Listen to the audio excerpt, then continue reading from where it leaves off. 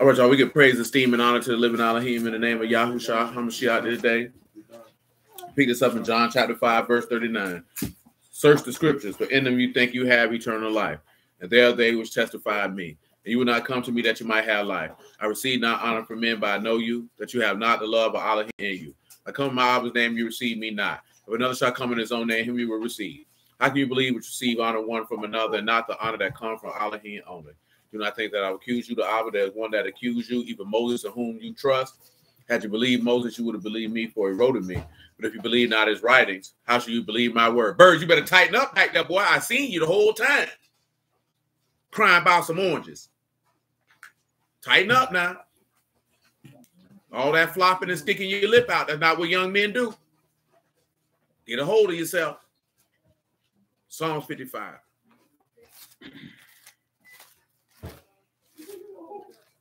Shalom, man.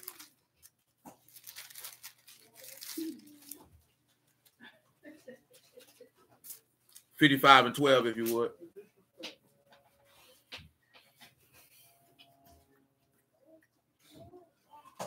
For it was not an enemy that reproached me; I could have borne it. Neither was it he that hated me that did magnify himself against me. Then I would have hid myself from him. But it was you, a man my equal, my God, my acquaintance we took sweet counsel together and walked into the house of Elohim and company. Let death seize upon them. Let them go down quick into hell, for wickedness is in their dwellings and among them. As for me, I will call upon Elohim, and Yahuwah shall save me.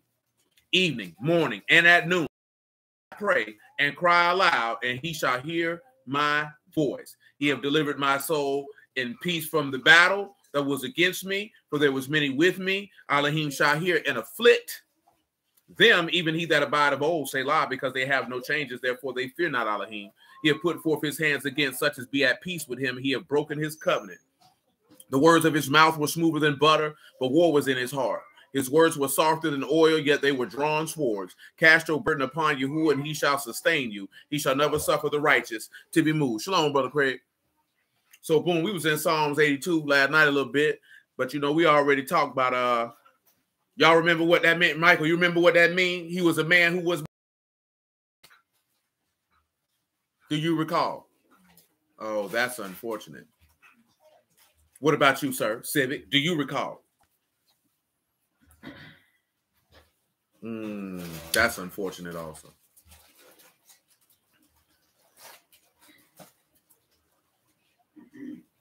We got the thing to line up with it, man. I was talking to East that night. East say, boy, he see a lot of man. You know, y'all know something that be real funny. But he say he see a lot of brew niggas who be dead broke. And when I say dead broke, these niggas got a job, ain't got no money, but be crying because the woman don't be happy because he ain't got no money and feel like she should be happy along with it. Big grown rusty niggas too. I'm talking about niggas 30 plus. Am I lying though? Them niggas be on it. These women won't submit. Nigga, you make $36,000 a year, nigga. What you hell you talking about? How a woman gonna submit to you, man, and she gotta help you pay the bills? I ain't talking about she paid a light bill. I'm talking about nigga, she if she don't go half on the rent, y'all can't stay here. You know what I'm talking about? That's the junk that uh that's the junk these that's the junk these dudes don't want to talk about. Man, you can make forty thousand dollars a year and get you a woman. It ain't gonna be the woman you want. I tell you that. And she ain't gonna respect you like you want like you want her to, because she got to go half with you. And if she feel like she got to go half with you, that means she feel like she ain't got to listen to you, because she feel like she got a, a half a say and what go on, because she pay half the rent. Yeah, yeah. I'm trying to tell you, niggas, these niggas thinking that these women supposed to be like, shoot, you is a man. Nigga, she got to go half on the light bill, the car note, the rent. Come on, man. What type of submission you gonna think you gonna get? Boy, you ain't even submitted to yourself. Oh, y'all still ain't found that because you know you can look that up. That's what I was waiting on. Oh, I thought that was just inherently implied. Clearly, it was not. Same position. Yes, sir. Same office. That's why, and that's why I'm referencing that. A man my equal is the woman in the same office as you. Oh, let's see if the text tell us that. Oh, come over here to First Corinthians chapter 11. Oh, they ain't gonna like this.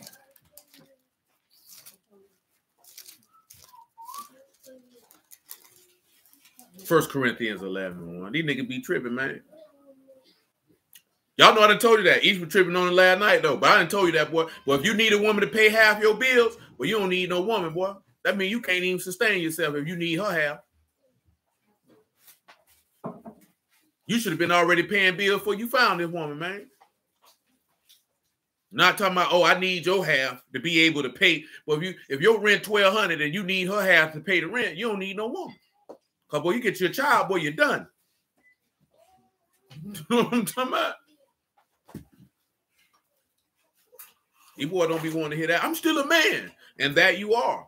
But you like I said, man, I put that in the chat for y'all for a reason. Do you know if you if you fat and unattractive as a woman, don't nobody pay attention to you except incompetent and, and, and immature men? That's all you're gonna get.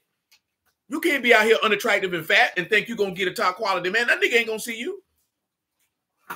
See, that offends women, but this is what offends men. That you could be incompetent and broke and think that the top level women gonna see you. No, she don't see you. Nigga, you incompetent. You ain't got nothing. I don't know why in 2022 that these niggas is offended that a woman is picking you on your ability to take care of her. I don't understand. I thought that was inherently implied from your birth. You know what I'm talking about? That's what they told she's a gold digger. So she she just supposed to give you her womb and she ain't supposed to get nothing. She ain't just supposed to get nothing, man. She gonna give you some coochie, you ain't gonna get nothing. Oh, that prostitution. No, this how you know niggas don't know what prostitution is. Mm-hmm. Prostitution is a whore. See, just because I hope be on OnlyFans or something, that don't make her no prostitute. See, most of y'all ain't never. If she smoke crack, she ain't no prostitute. A prostitute is a professional whore. You understand me? This woman sells her vagina for a living. You know what I'm talking about? She actively and, and regularly markets her sexual services in the marketplace for purchase. You know what I'm talking about? That is prostitution. Mm, high, ain't even high as bitter. This is the rate. I'm here seven days a week selling monkey and mouth. You understand me? Mouth. So long, brother. I'm trying to tell you what real now. There ain't no prostitute. Every woman wants to be taken care of. And we get to that point. I mentioned it loosely last night. Don't no woman want to work for 30, 40 years. They don't want to do it. Michael, you want to work for 30 years? I know you don't. You be like, yeah, I'm running this business, but you don't want to run it for 30 years. You don't want to do nothing. Don't no woman want to have to get up and grind every day for 30 years. You don't want to do it. Y'all say that junk good. I'm independent. I'm this, that, and the third till you realize the monotony of grind. And you be like, you know what? I don't want to do this. I need to find me a nigga who gonna finance my life and upgrade me and put me in a different position that I ain't got to get up and go out here every day. If a man is a man, he don't mind going out here every day. He look forward to it. It's the highlight of his day. The highlight of his day is not spending time with his woman. The highlight of his day ain't even spending time with a churn.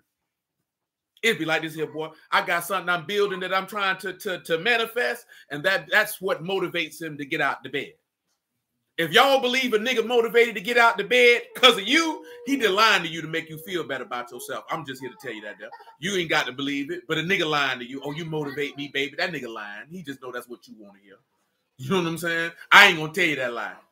I ain't motivated by you to get that grind. It's it's when niggas do stuff, boy. It be time niggas do be in the bed like, boy, I don't want to go nowhere but the the love of what it is that they doing is what get him out the bed. Not I gotta take care of my wife. Not I gotta take care of my kids. Because eventually you'll be like, F them kids and F her too, and you won't get out the bed. And I'm telling you, it's men who do that, John, who sit there and lay in the bed because they really like, I'm doing this for these people, and I don't even like this woman. I ain't going. You know what I'm saying? It, it just reality, man. And I'm telling you because see, y'all, you know, they market romantic, fantasy, fairy tale type love to y'all, and y'all live in that reality that that's what love should be. But men don't live like that. And the men who you find like that, they kill women. You know what I'm talking about? The dudes who get caught up in that type of fantasy type of love, those are dudes who kill women. Them the dudes who be at your window talking about who that nigga is in the house with you. That's the nigga when you leave him, he beefing with the new nigga you messing with. That's them. You don't want them niggas. You want a man who's motivated by his own success, and then you get to come in and benefit from said success if you deserve it by showing yourself worthy to be in his presence. You know what I'm saying? Then you get the benefit off of that because you have proven yourself by whatever litmus test he is taking you through that you should be able to benefit from what it is that I do. And that's what the Lord has done for you. That's why he tells, you, remember that what it say, Jeremiah 17 and 9? He say he tried the hearts and the reins, right? Hmm. And what he said to give a man according to his what? His work. So that means you show yourself that you are worthy enough to receive the benefits of the labor that he has manifested and created. You should remember that because what did he tell you in Ezekiel 36? I don't do this for whose sake? Your sake. He said he do his great name's sake. So he was doing that for him. Him saving you was not necessarily for you. That was for him to re-sanctify his name that you profaned and defiled. And then you, you get to benefit once he's trying your reins from the things that he has acquired from his labor, and you get the benefit off of him. That's how that works. That's how he come in and make your life easier. But you would have to prove yourself as somebody worthy enough for him to lighten your load. You understand? See what we was reading Isaiah 4, what I was last week or the week before? And, and and and they came and said, We got our own bread and our own apparel. And not one time did he say, Yeah, I'll take that. No, no. Because at this point, if you got your own bread and own apparel, you're gonna feel like you're gonna have you get to have a say. You know what I'm saying? No, you don't get to have. Okay, you want to be called by my name. You want me to take away this dishonor. I'm gonna give you my own bread and I'm gonna give you my own apparel because then you're gonna get down with what it is that I got going on. I'm not getting down with what you got going on because I don't care what you got going on. You know what I'm saying? What you got going on don't benefit me, so why would I care? See, I know it's different because a lot of women you talk, you want to, they tell you invest in women invest in what, what am I investing in? What am I getting back in return? To see her be able to benefit and have her own stuff and then eventually dip. Because now I don't need you. You finance me to go get it because now I feel like I'm better than you. That's also another matter that most men don't like to deal with. A woman does not want to be with a man that she feels like she is superior to. If she feel like she's smarter than you, and she feel like she got more money than you, and she feel like she got more status than you, she's not going to respect you in the fashion that you you feel like you should be respected in. Now, just imagine, right? We can't even imagine. Just pay attention to the text. When the Lord came, where was he from? And what did they, what did they say about Nazareth? Okay, any good thing come from Nazareth. What was his occupation? You think carpenters were at the top of the social structure? You know what I'm saying? So when they looked, at remember, because remember what it said in Isaiah 53? I'm just trying to set the stage of the parallel. That's all I'm trying to do. In Isaiah 53, what did it say they didn't find in him that they found desirable? No comeliness. They didn't see any honor and esteem to the point where they looked at him and said, He's greater than us. So I will value, honor, and respect him. They felt like he was beneath them. Is that not how they interacted and dealt with him? They looked at him as if he was beneath. This ain't no king. Hold on, yeah, I'm finna get. I got a little reconnect, a little unstable. Get a second. I was thinking too, like in the parable, like why they felt like Shalom, oh, Sharon. Thing why they feel like them having their bread and their own stuff matter. Okay, they were just looking at. I got the, I, they, they in their mind, and this is just all speculation. I'm bringing something. Right. See, I'm gonna tell you, I ain't never thought about it. I, I, see that's a new thing in 2022. Bunch of dudes asking women what they bring to the table. I don't give a damn what you bring, what I tell you to bring. This is what I need at my table. Can you supply? I don't care. Only niggas who ain't got no money and nothing going on gonna look a woman in the face and ask her. That's it. That's the only thing you need to be concerned with. Can you meet these my in the construct? What if he walking around and people talking about, so what you bring to the table, Peter? No, he told Peter, this what you finna do right here, Peter. This is what you bring into my table. Ain't that what he told him? Did he come up to Matthew? Matthew, what you bring to the table, Matthew? Do you know what I'm saying? Just imagine the Lord just walking around to everybody. What you bring to the table? You bring something to the table? Ain't no masculine man asking nobody that because he didn't already took the time to build something that he knows that he is everything. That man told you he the house. Guess what? We, we could actually go into that a whole nother direction because you know it's a table in the house, right? That you got set what on? That shewbread. So we could come in and Lord say, He can tell you I'm the table. Nigga, everything on the table is on me. I support all of that. So I don't care what you bring. What you bring is what I need in order to fulfill my will. You know what I'm talking about? And I'm telling you that as a mindset reshift of how you look at him, just using the natural stuff. Cause these niggas out here gay. I'm gonna tell you that right now. Most of these niggas out here walk around, man. These niggas not men, and it ain't their fault because ain't nobody told them.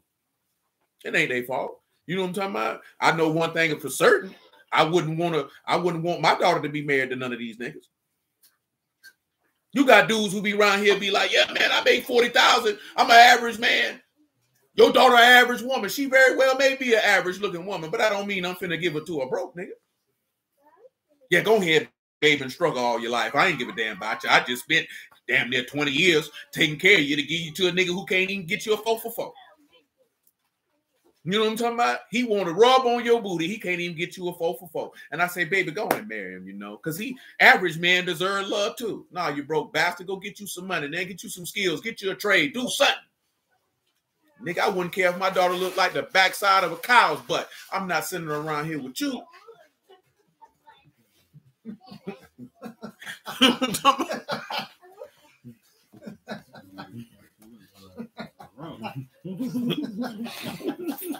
Just being dead honest with you. This wrong won't go to your huh? this wrong won't go to your? He's sending my daughter around there uh, on purpose. It's different if she's stupid and she just messing with different men and she's struggling. I'm gonna give my daughter to a dude and know she gonna be poor on purpose.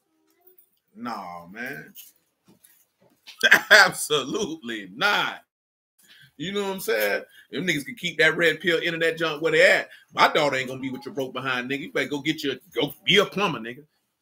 Bump yourself up about 65, man, with a with an opportunity to get you some more bread. You can't be no grown man and say I'm happy with forty thousand dollars a year for the rest of my life. What you think you gonna get? Boy, you finna you ain't gonna get Big Shirley, nigga. You gonna get Big Bertha, nigga. You gonna get a chick named Matilda, nigga. That's what you gonna get. First Corinthians 11, 1, man. Word, uh, Big triple pound. Man, ain't no beautiful woman messing with no broke man, man. Not on purpose. Not on purpose. she didn't know. This was- this was I was my the gal. Not on purpose. Now I praise you, brother, that you remember me in all things and keep the ordinances I delivered to you. But I would have you know that the head of every man is Mashiach, and the head of the woman is the man, and the head of Mashiach is Elohim. So guess what? If you the head, go and half with her for what? What we splitting for? You know, that's what a lot of these dudes like to tell you. Take two incomes to survive. That means if it take two incomes, you don't need no woman. There it is. You don't need no woman. You know what I'm saying? And, and- and I and I know it's hard out here. I know it's real out here. But if a man thought process is, I just want me a woman at all costs, and I ain't did ABC. Come on, man. You're gonna have to have turn with this woman, man, and eventually that woman gonna be looking at you and be like, "Why hasn't our life station increased?" And then it's gonna start to be some pressure. Man, y'all know the mass majority, the number one reason why most divorces happen in this country. Michael, what the most reason most people divorce in this country for? Money. You know what I'm saying? Dudes talk all that gangster stuff till the lights off. Then she like this here. What you been doing, Charles? Get off my back, woman. You know it's been a struggle. She don't want to hear that. She don't want to hear that. She don't want to hear that. Where did the money go? Unless she was spending up all your money. Then you supposed to take your nice boot, shine it up real nice, turn it sideways, stick it right up her butthole. You know what I'm talking about? Kick her right on out the door. Kick her right on out the door. See, come on back, man. Let's get back to this Psalm 55, man. With this evening morning. Well, let's have, let me ask y'all this here because that's the part we talking about. Let me swing over here to Daniel, man. Daniel 6 and 10. You can get an example of that going down. I mean, fun with it. All jokes aside, though, man. As a man, you just can't be happy with it. I'm gonna be average. I'm cool with that. And then wonder why the women don't want you. Shoot, if I was a woman, I wouldn't want you neither. Daniel 6 and 7. Nigga be around here talking about, so are we gonna be able to go out to dinner this month? Yeah. But you know where we going again? Not on the town for them niggas is Burger King, nigga. Walk on the board.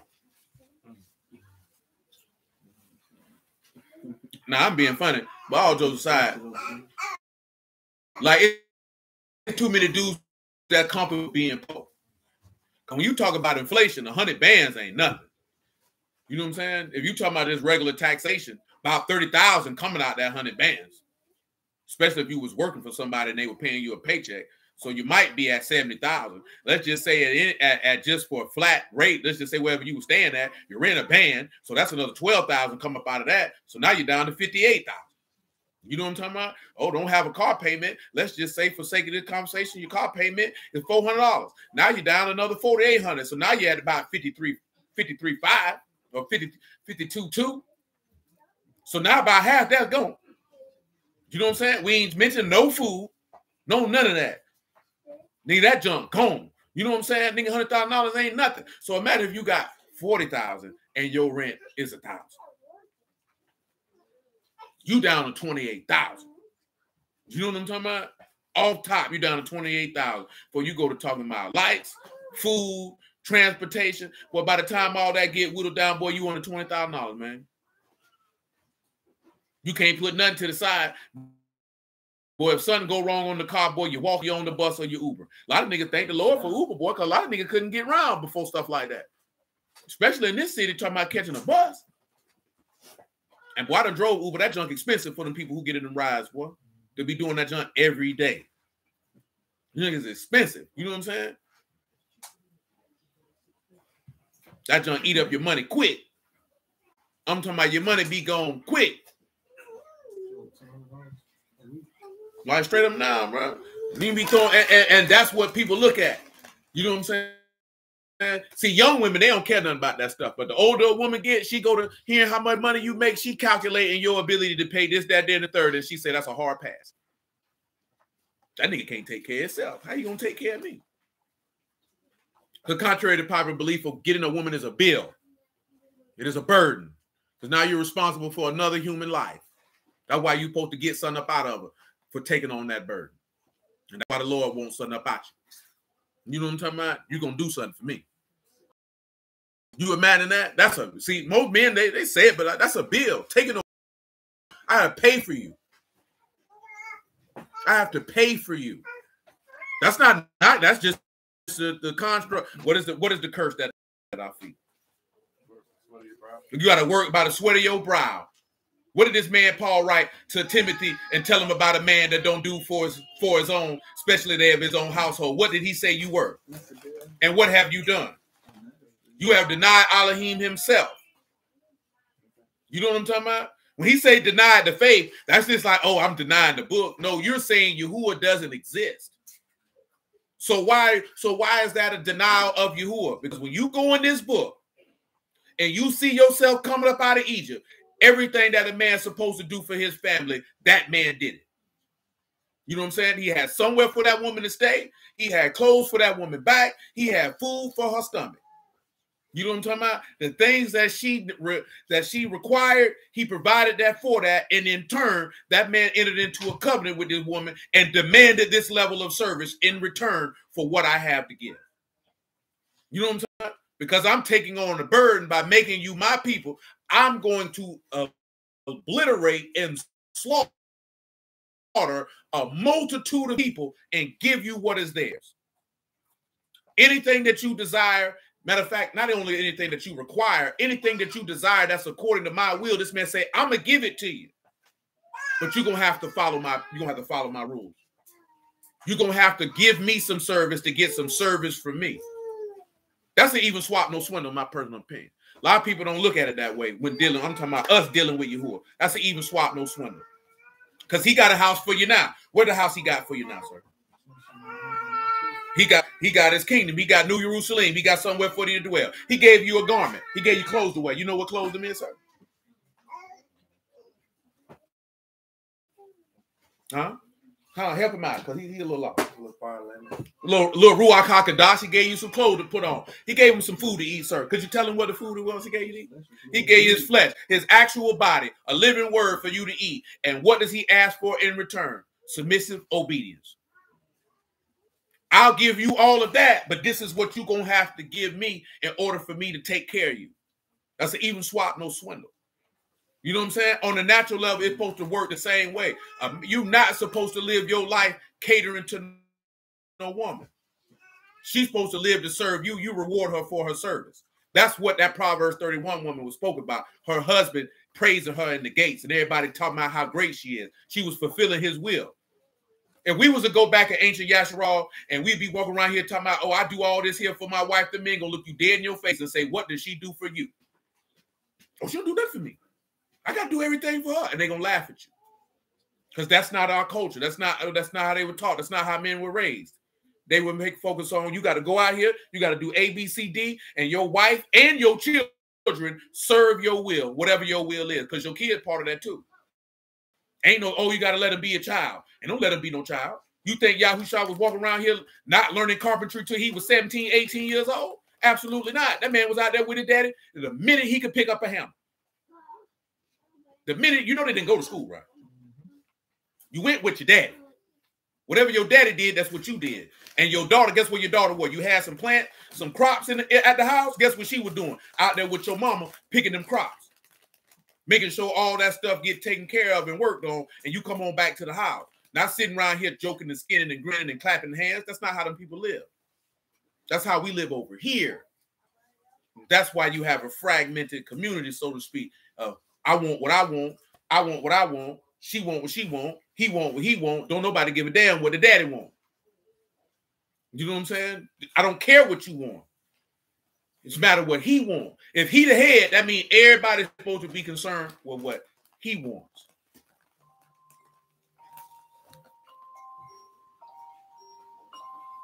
Oh, now I know who that is. Six and seven. And I'm just telling you that to get you in the mind frame of dealing with Yahuwah. Yahuwah don't care about what you want if it goes above what he wants. Now, what you want is in line with what he wants, he gonna give it to you. And he gonna give it to you with no hesitation. And that's what he told you. He's gonna give it to you with no hesitation, but it needs to be in line with what he wants. If you are a dedicated servant to Yahuwah, the man told you he will not withhold any good thing from you. Keyword on good, that which is pleasant and agreeable. Anything that is good, that man will give it to you. Remember what he said? He said, I call you my friends if you do whatsoever I command you. You know what I'm talking about? If you go in the direction that I tell you to go, I'll give you whatever you want. It's not a problem. It will delight him to do it because you're delighted to do it. That's how Yahuwah feels. He want to give it to you. What did he? The Lord told us this in Luke, I think is mentioned. He said, it's your, it's your father's good pleasure to give you the kingdom. It's it pleases him. He wants to give you rulership. That's why we were talking about rulership last night. He wants to give you rulership. He wants his daughters to be in a position where their men can rule and they don't need to be concerned with any type of burdens. That's how Yahuwah roll. I don't I don't want my women. He doesn't want his daughters walking about how I'm gonna pay the rent, how the light bill gonna get paid, how food he doesn't a woman doesn't need to be concerned with those things because that's added stress that she doesn't need. That's why a lot of dudes don't understand why can't i get femininity out this woman? Because she's trying to survive. You're not going to get a soft feminine quiet woman and she focus on where am i going to sleep tomorrow? How am i going to eat tomorrow? Most of these dudes don't understand that. How's she going to focus and be a woman in that type of environment? She can't. You know what i'm talking about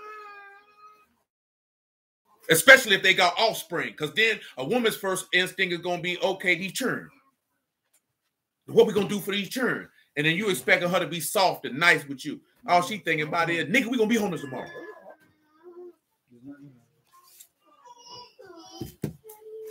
Six and seven, Daniel. All the presidents of the kingdom, the governors, the princes, the counselors, the captains have consulted together to establish a royal statute and to make a firm decree that whosoever shall ask a petition of any Elohim or man for 30 days, save you, O king, he shall be cast into the den of lions. Let me get this word for petition. Let me get this word for petition. Because I don't want y'all to get it twisted because most of you ladies know in here if you do the things that your husband desires for you to do and you ask something of him that he does not withhold that from you you know you got to be a real lobster for your wife to do the things that you desire for her to do and then you don't reward her for it you got to be a real sucker nigga for that You know what I'm saying? That junk ain't cool. Yahuwah definitely don't operate like that. You know what I'm saying? If even if your children, if your children serve you in the fashion you want them to, and he ask them for a candy bar, I say, son, now you know you don't we don't give you candy like that whenever, but boy, one day out of the week, boy, you've been doing a good job, boy. Go and get you that Snicker bar. You like baby Ruth? What you like? You hit him off. Indulge yourself. It ain't wrong with it. Ain't gonna kill you. No, I ain't gonna give it to you every day, but hey, man, you've been doing a good job, son. You deserve that. You earned it. You know what I'm talking about? It shouldn't that that shouldn't be no you know niggas feel like you shouldn't reward doing for doing good work, or even let somebody know they doing good work. That junk ain't cool. You know that on the job, man. You you don't work the job, and the people come in there and let you know they appreciate what you're doing, and they see the level of output you're doing. That encourages you to say, you know what, I can stick around here and work for a while. Nigga, you doing some good work. I mean, like, man, them niggas ain't saying nothing. Man, I'm finna quit, and it could be paying you good too. But you feel like, man, these niggas don't give a damn about me. It'd be simple stuff, man. It helps for morale.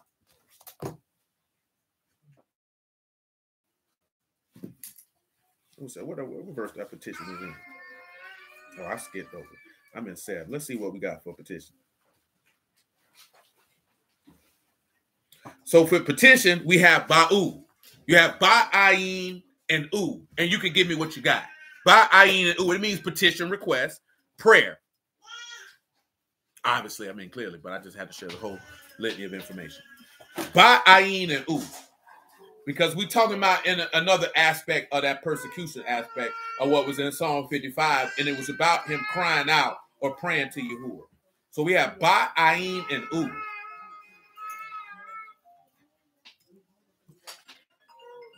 This look like people.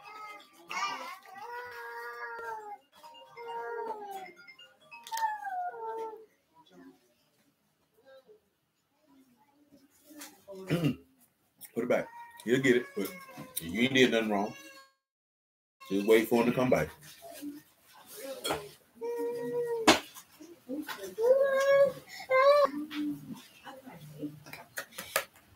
Throw this away from me, Grandma. Thank you.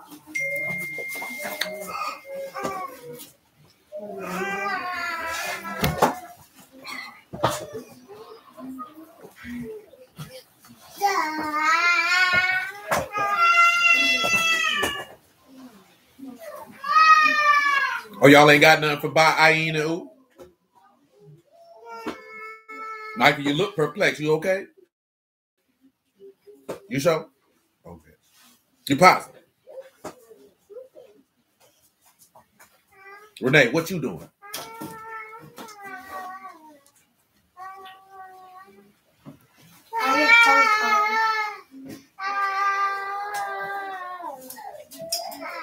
Oh, y'all ain't got nothing for me yet? Oh, Saran got son to know how to pair yourself to the sun. Very well, good sir.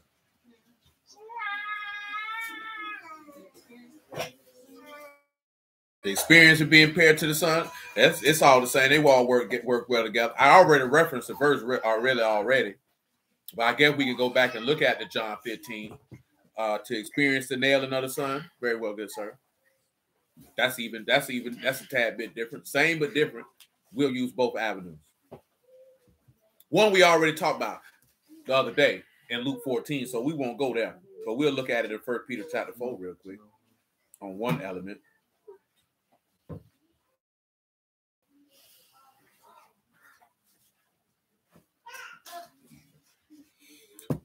Now, yesterday, last night, right, I should say, we were talking about being a ruler, right?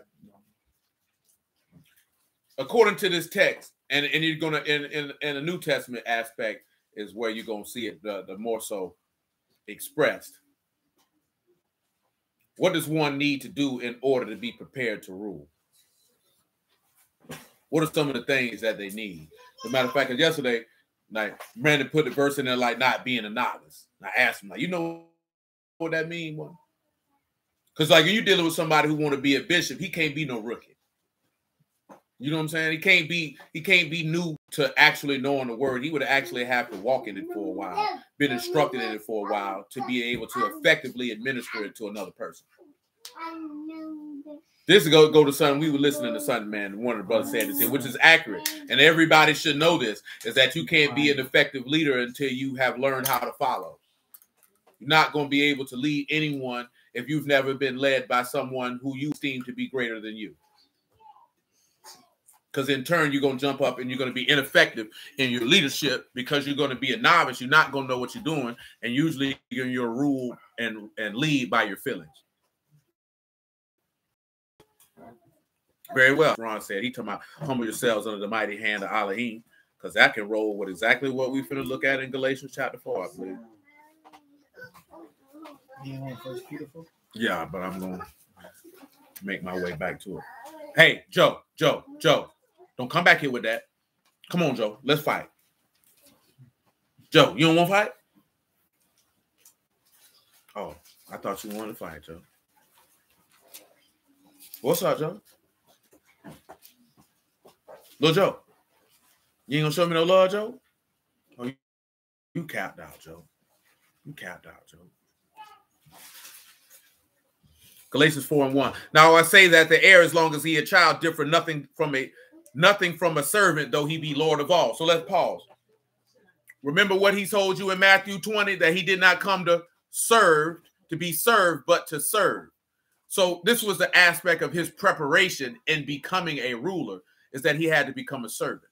I think we read that last night also in Philippians chapter 2, when it said, Let this mind be in you, the same mind that be in Yahushua HaMashiach, who humbled himself and became a servant, humbled himself even unto death. See, the first aspect of a man being prepared to be able, even when you look at David, David is a is a crystal, crystal clear and crisp example of, of what we're talking about right now. When we read last night in Samuel, what was David's occupation at that time? He was a shepherd boy and he was a young boy. And then he went and slayed uh, what his name is, Goliath. And after he slayed Goliath, what happened? What what happened to David after that? He was put in Saul's house to be a servant to the king. And he served Saul until Saul died. You understand? Before he ruled and became king, because that is your example of even though he because because the Lord had already told him he was going to be king. And though he was heir of all things at that particular moment, he still was under tutors and governors and was a servant until it was time for him to rule. See, in order for us to be prepared to rule, because we read it last night, you got to be under the tutor and governorship of Yahusha until it's time for you to rule. How you gonna be able to get into a kingdom and rule and you ain't been following and serving this man? You know what I'm saying? You even get your preparation to even know how to rule by being able to rule over your household, which is why he say a man can't be a bishop if he ain't got no rule over his own household. If you can't even govern and dictate your wife and your children, how would you be able to rule and govern anybody else? Your woman talking to you any kind of way, your son say "f you, daddy" and run off, and you like this, ah, you know. Now I gotta slap him. You don't want to check him. I'm gonna check that nigga all right. I'm gonna kick him dead in his teeth. He ain't gonna have no teeth in his mouth. Ain't that right, grandma? Mm-hmm. You got some teeth in your mouth? Oh, you just want to show him, huh? You ready to lose him? Oh, you show? Oh, you're not show. You want a GTS? Mm, you smart. You know what GTS means? What it means? So you don't know what it means. It means go to sleep. You want to go to sleep? Oh. Galatians 4 and 1. Now I say that an heir, as long as he is a child, differ nothing from a servant, though he be Lord of all, but is under tutors and governors until the time appointed of the Father. Even so, when we were children, we were in bondage under the elements of the world. But when the fullness of time was come, Elohim sent forth his son, made of a woman made under the law, to redeem them that were under the law, that we might receive the adoption of sons. Therefore, and because you are a son, Elohim sent forth his ruah of his son into your hearts, crying, Abba. Wherefore you are no more a servant, but a son, and if a son, then an heir of Elohim through Mashiach. Because guess what? If you were son of Mashiach, just say on the natural side, who would you be a son of? You know who would be a son of? Yeah, you. If you are born of Mashiach on the natural side, who will you be a son of? The son of who? The king is a is a title. That's not a that's not a person. I said on the natural side of David. That means you would be a bloodline of David to be able to say that you would be a son of a king. See, we needed David that for that one there for, for completion. Because the son of a king would be acceptable. Then we'd have to be like, which king? Because there were a lot of kings. But the main king would be David. I'm just saying on the natural side even though naturally you whatever seed you is if but if you were born of Mashiach then you would be of him and if you would be of him then of course you would then be of the household of David because you cannot be an heir to a throne unless you are of the household of David. That's the only person who could sit on a throne in Yasharal. So if you're born of Yahushua then you would be of David so to speak to be able to reign to be on the throne and be a king. Let's come back to first Peter chapter 4 First Peter chapter 4, verse 1.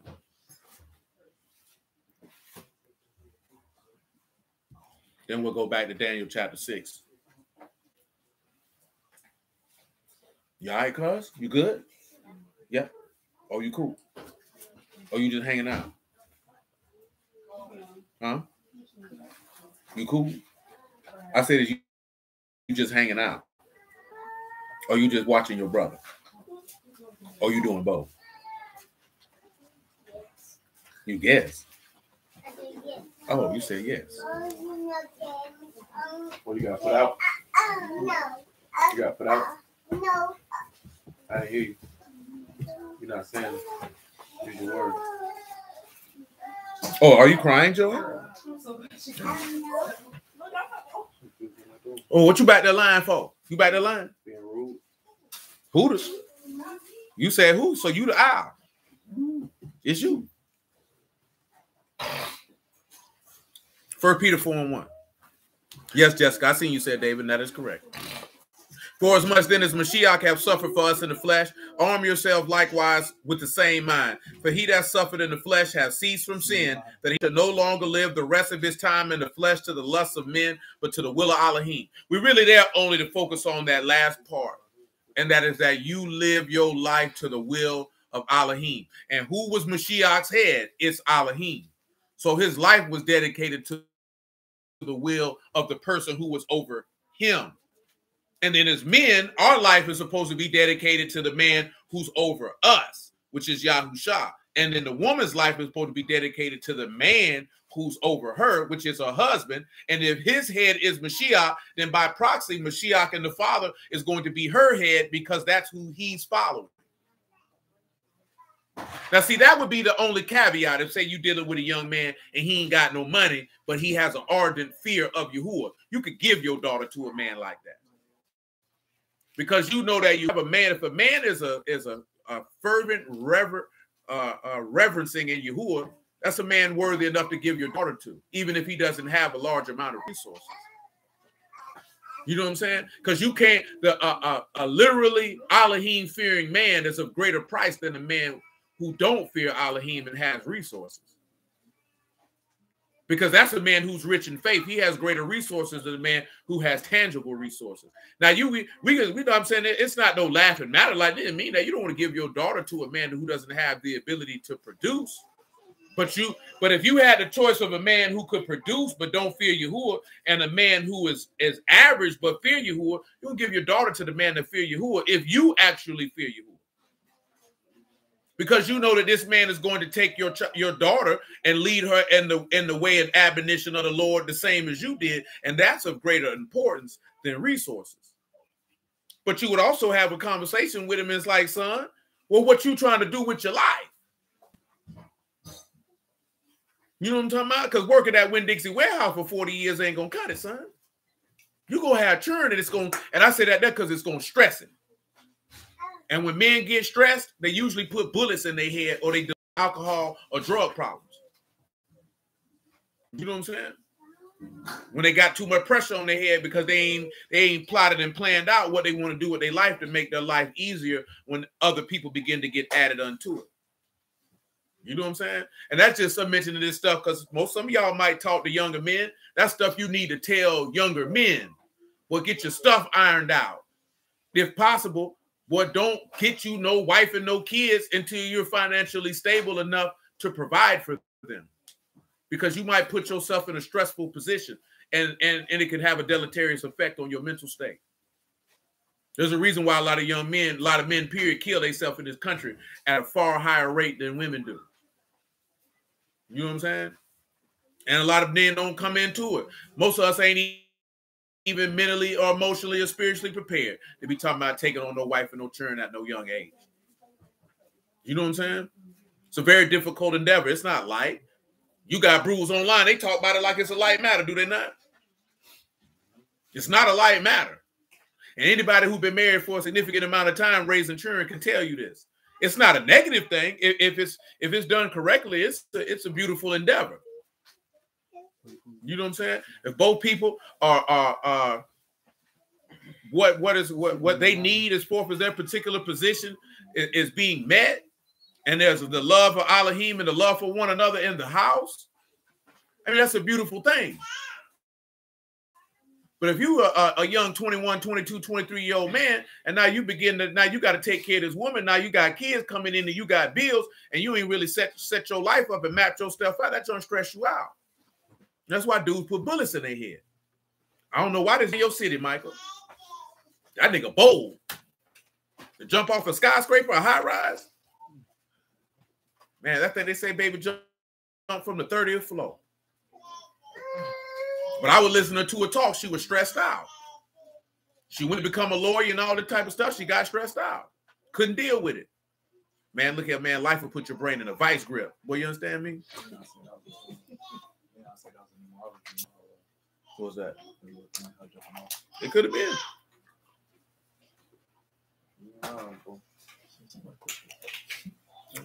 Real boy. Life put your mind in a real live vice grip. Squeeze it. You know what I'm talking about?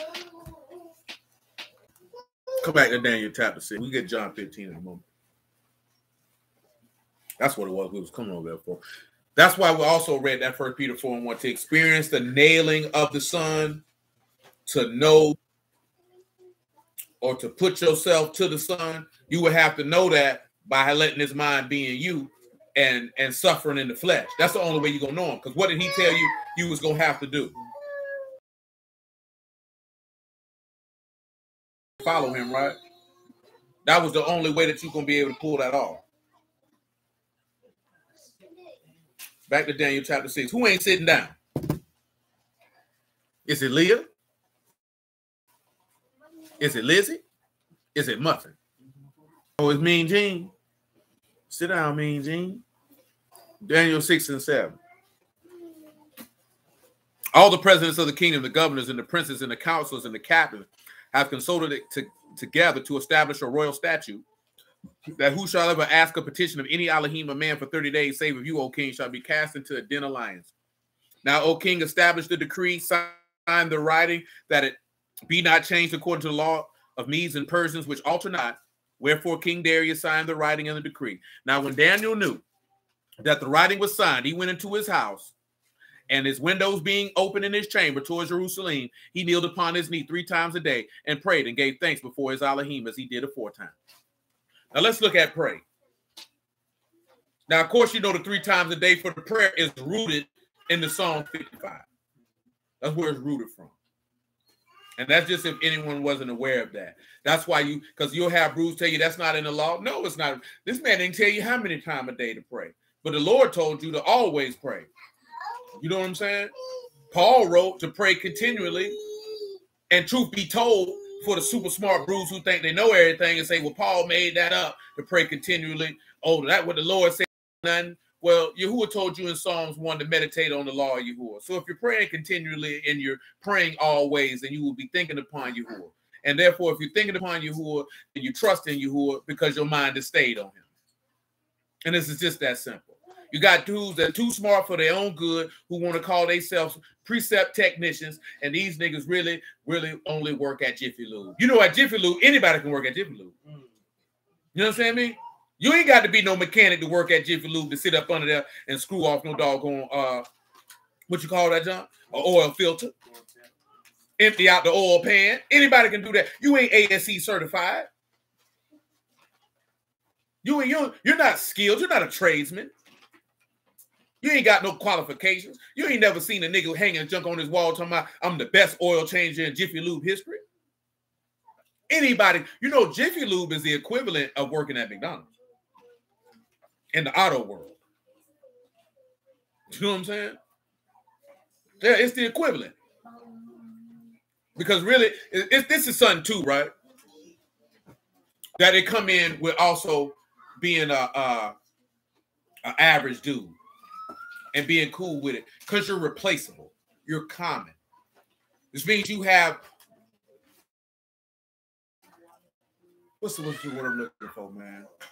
You're unskilled labor. Usually, when you're an average man, you're unskilled labor, meaning you have no, you can be easily replaced. Anybody can come do your job. Any one of us right now could go in and work at G right now. It don't take any skill or extensive training in order for you to do it. You- I don't doubt that. Forty thousand now, you go. You might be a little below. They may, they may pay. They, I mean, right now they might be. Huh? Yeah, you getting twenty dollars an hour. You probably getting about fifteen. You, know, you probably getting about fifteen because 20 dollars an hour gonna get you in that forty thousand dollar a year range. Yeah, if you um, if you the manager for the second, you know. Yeah, but you ain't up under. But that, that's not my point. My point is you got you got you you're low skill. You're low skill. See, you know, you know what you have to be in order to get paid highly at anything. You have to be in the top twenty percent of people who do something well.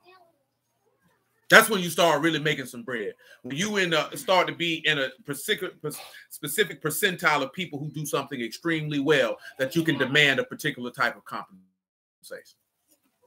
You know what I'm saying? And and that means you have skills that are valuable. You know what I'm saying? There's no such thing as a, a as a valuable oil technician at Jiffy Lube. You're not valuable because I can replace you. Do you know what I'm saying? See, something of value cannot be easily replaced. See, Yahuwah is valuable. You can't replace Yahuwah. There's nothing you can substitute in. People feel like they can substitute something in, but it's really somebody who's just desirous of going after their own lust. You know what I'm talking about? And that's not to knock anybody who's at a particular point, but as a man, you would have to know that if I have low skills, I, I can I can be easily replaced. Ain't nobody looking for somebody who's of, of, of a low skill level. Nobody wants that. Because I mean, I could swap you out. That's why a lot of women get with a dude and just stick him out till something better come along because she know he's of low value. See, people hear that word value and they go to thinking about their intrinsic value. And again, value by definition is usefulness. By express definition. Then you have a second definition, of course, value. Because we were talking about this because we found some baseball cards, a couple Barry Bond cards on the track. I'm like, them cards ain't worth nothing. Because I used to collect cards, and I know now baseball cards ain't worth nothing. It has to be extremely rare. You know what I'm saying? See, now you got stuff. You got niggas who stupid enough to go online and bid bid on squiggly pieces of art and pay millions of dollars for NFT for it. That's how stupid people is. You know what I'm saying? That's how dumb. Ain't nothing rare about that. You're an idiot. That's what these niggas be on there doing, little squiggly lines and paying millions of dollars for it. You know what I'm talking about? People so dumb in, in this particular country, how they get scammed out their money and then want to blame somebody. See, I can't even say that's a high value skill. That's just a rage right now, and people just stupid. People will buy anything. You know what I'm saying? People will buy anything for any reason if they think it can get them rich without them doing any type of work. You know what I'm saying? Now, hey, boy, what you got going on? Now, one thing I will say, and that nigga BOA said this the other night. Black people the only people I see that talk down on people who full-time content creators. And boy, I done seen people who make millions of dollars off being a full-time content creator. That ain't no just, oh, you just cut on the camera. It's a lot of money you got to put into that. And a lot of time. You know what I'm saying? You might look at them people who do them videos and you'll be surprised how much money them people done put into the stuff. I ain't even talking about niggas who do skits.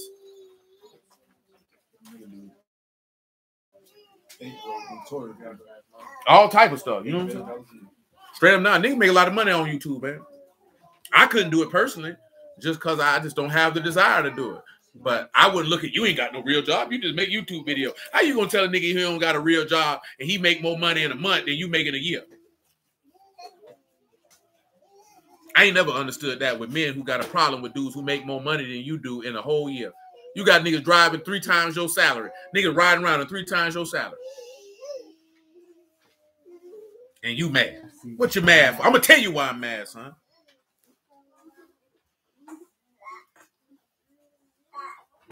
Ah, behold the way to the leader. That's what you got.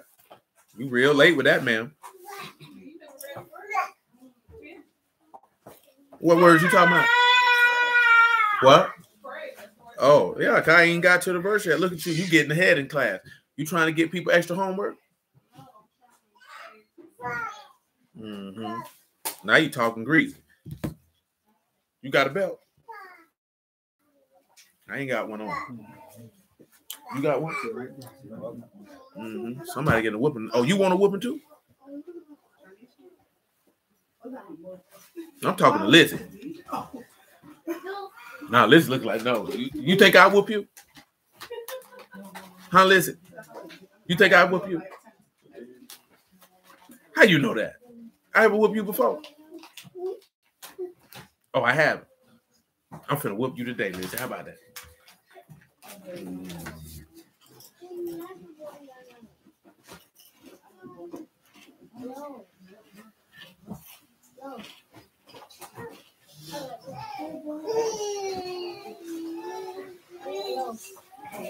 For the word that Deidre wanted to put on out there for you, it's Salah to pray.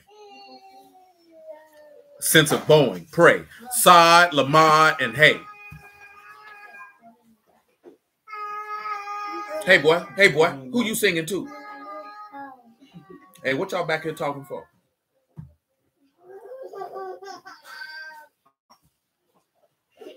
How about you fix your clothes and close your legs? Little grandma baby.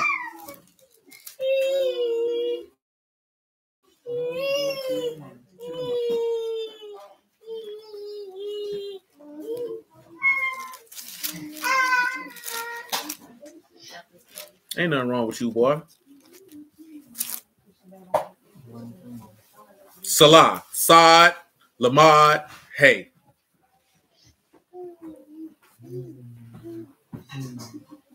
You gone, cuz? Yeah, that's what these got. Well, they shepherds, man. That's because it's Hayden. Oh, that's I'm tripping. That's Lamar in there. That what Jesus said, same thing. Behold the way to the leader. But what's gonna get you to the leader for your prayers to be heard? I actually need to read Psalms 34 before I read John 15. Let's go to Psalms 34. I'm starting to get the musk, and I like it.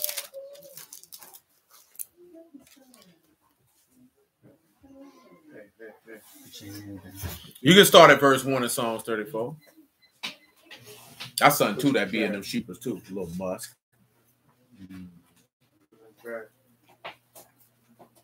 I know that civet is literal beaver secretion. If you get it real, it's hard to get real civet and castoreum. Yeah, it is. Give it a little funk. That's elegant. Now, this- huh? Yeah, that. Shoot, that junk be on point. You done smelled a couple that you like, but and it definitely was in there.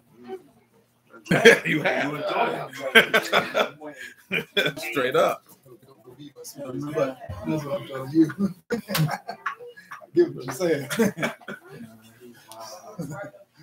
No, I mean that's the difference between niche and designer. Look at this weed. Designer is gonna make stuff that is mass appealing, and niche gonna make stuff that could be considered to be challenging. It's not something that everybody gonna be like, I like that. What about a beaver's butt? Make you want to get up and smell it and put it in a bottle and spray it. It's niche. Gotta find your niche. I'm telling you, it's definitely something. in Every here. nigga that pick up a beaver by his tail and sniff his butt. It's See what definitely it smells like. shoot. They got stuff they done took out of whale's belly. Gotta niche. Psalm 34 and 1. I will bless you who at all times his praise continually be in my mouth. Now we talking about Yahusha, right? Playing evening, morning, and noon. Let's go ahead and start to integrate that in that in the midst of what we're doing versus waiting towards the end. Who can pinpoint a time that Yahusha played prayed in the morning? I'm gonna do it backwards. I ain't gonna go eating in the noon. In the morning, a morning prayer. I give you time, a morning prayer, because he said, I will bless Yahuwah at all times. His praise shall be continually in my his praise shall be continually in my mouth. I give you verse 2 along with it. My soul shall make her boast in Yahuwah. The humble shall hear thereof and be glad. Oh, magnify Yahuwah with me and let us exalt his name together. So we need to establish a time when Yahusha prayed in the morning. I give everybody a moment to dig that on out. Morning prayer.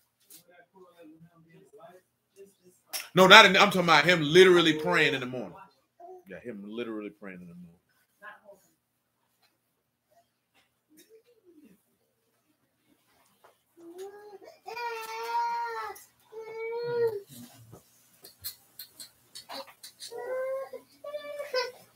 Yeah, there's some civet in here.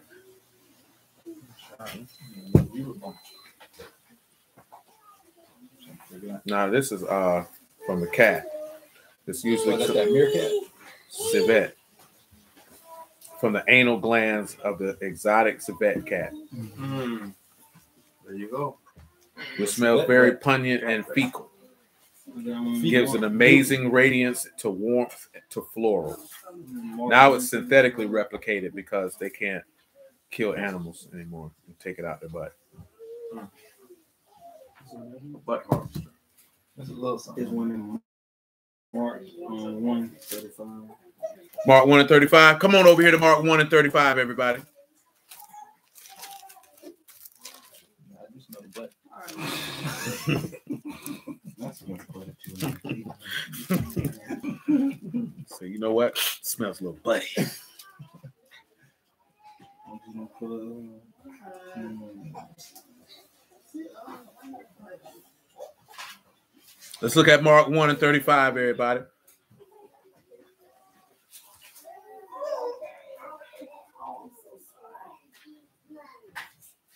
Yes, sir. That's the way that we dealt with this originally. Saran mentioned the way that the la- the la- which has been about five plus years.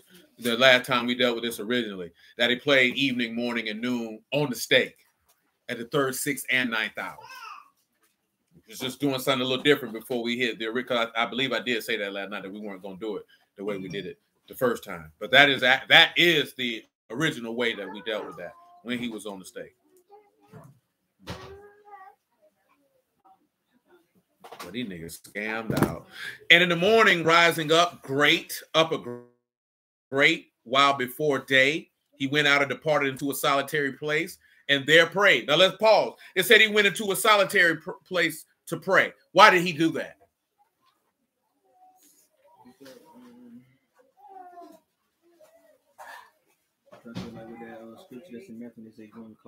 He just was following his own instruction. Let's look at that Matthew 5 real quick, like.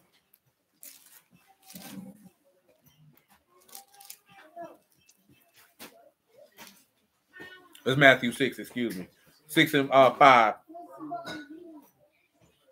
And when you pray, you shall not be as the hypocrites are, for they love to pray standing in the synagogues and in the corners of the streets, that they might be seen of men. Truly I say unto you, they have their reward. But when you pray, enter into your closet, and when you have shut the door, pray to your Abba which is in secret, and your Abba which see in secret shall reward you openly. But when you pray, use not vain repetition as the heathen, for they think that they shall be heard for their much speaking. Be, ne- be not ye therefore like unto them, for your Abba know what things you have need of before you ask of him. After this manner, therefore, pray you, our Abba, which art in Shamahim, Kadash be your name, your Malkuth come, your will be done, in earth as it is in Shamahim. And give us this day our daily bread, and forgive us our debts as we forgive our debtors, and lead us not into temptation, but deliver us from the evil. For yours is the kingdom, the power, and the esteem forever and ever. Amen. And for if you forgive men their trespasses, your heavenly Father will also forgive you. But if you forgive not men their trespasses, neither will your Father forgive your trespasses. But also, this is the key point. Him, you, let me just put it this, let me ask this here, right? According to the law, right? He's telling you to forgive men's trespasses. Why is he telling you to do that according to the law? For to forgive men's trespasses according to the law. And this goes into something we mentioned last night, which was uh uh what was it? wanting to be like the Most High. That's what it was, according to the law. Oh, first thing come to my mind is I got the Jubilee with releasing the debt, releasing the debt. And you could say that. That ain't the first one, but I'll allow it. He said Leviticus 26 or 25 with Jubilee and the releasing of the debt. But the reason you're supposed to, to forgive sins according to the law, if you're going to be like the Most High, because he said, Yahuwah Elohim, full of grace and mercy, long suffering, forgive sin and iniquity. That's what he do. So he telling you if he forgive and you're going to be my son, you're to have to do the same thing because true kings forgive those who serve in their realm. True kings don't walk around holding grudges against people. They showed mercy in order that the people might continually serve them. Remember, ain't that what he told them to do to Jeroboam them? And what that boy did? The opposite. Oh, oh yeah. He listened to the young man. He listened to the young men. That's an example why you don't listen to young men, because young men don't know nothing. If you had it, if you got an opportunity to get counsel from a young and an old man, usually you should go with the older man because they usually are going to be the ones who going to give you wiser counsel. That I don't mean it's going to be like that every time. But for the most part, young men are going to go based off how they feel and what they feel like is going to be advantageous for them versus what's going to be advantageous for everybody. Those old men told him to do what was actually going to benefit him, but he was going to have to be a benefit to the people. Can't be no novice, and that's what he was. He was a rookie and lifted up in his pride, he got condemned. You understand? And on top of that, all he was telling them was, if you take the burden off your off their back, this these women, this woman gonna love you for the rest of your life. You ain't got the gorilla pimper. That's what they were really trying to tell him. You know what I'm saying? Ease up on your pimping and pimp a different way, and she gonna rock with you. But he thought he had a gorilla pimp. So you can't always be out here gorilla pimping. See, a lot of these boys be want to tell you the gorilla pimp. See, you know what I'm saying? See, gorilla pimping cool, but it don't work long term. Gorilla pimping don't work long term Why they were saying Solomon was doing it? though? That- that- because he taxed everybody. Yeah, he was taxing everybody. But Solomon taxed everybody. Nigga be in America crying about taxes. We don't went over that before. Solomon taxed everybody, bruise and all. They didn't get taxed as bad as the strangers did, but everybody had to break bread. Boy. Solomon like, well, I need my money on time. You know what I'm talking about?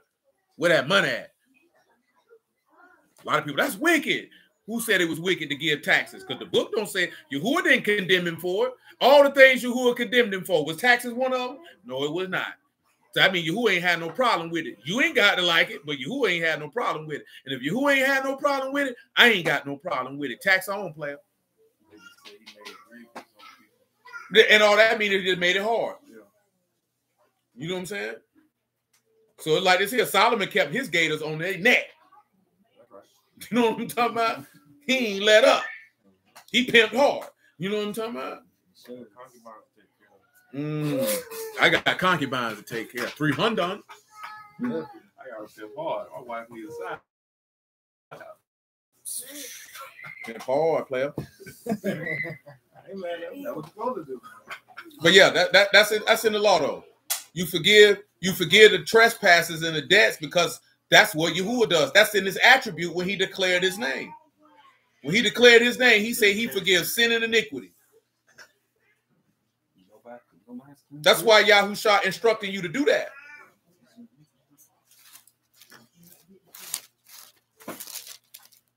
Also, what and then of course the main key thing that Yahusha prayed, what he said, your will be done in earth as it is in heaven.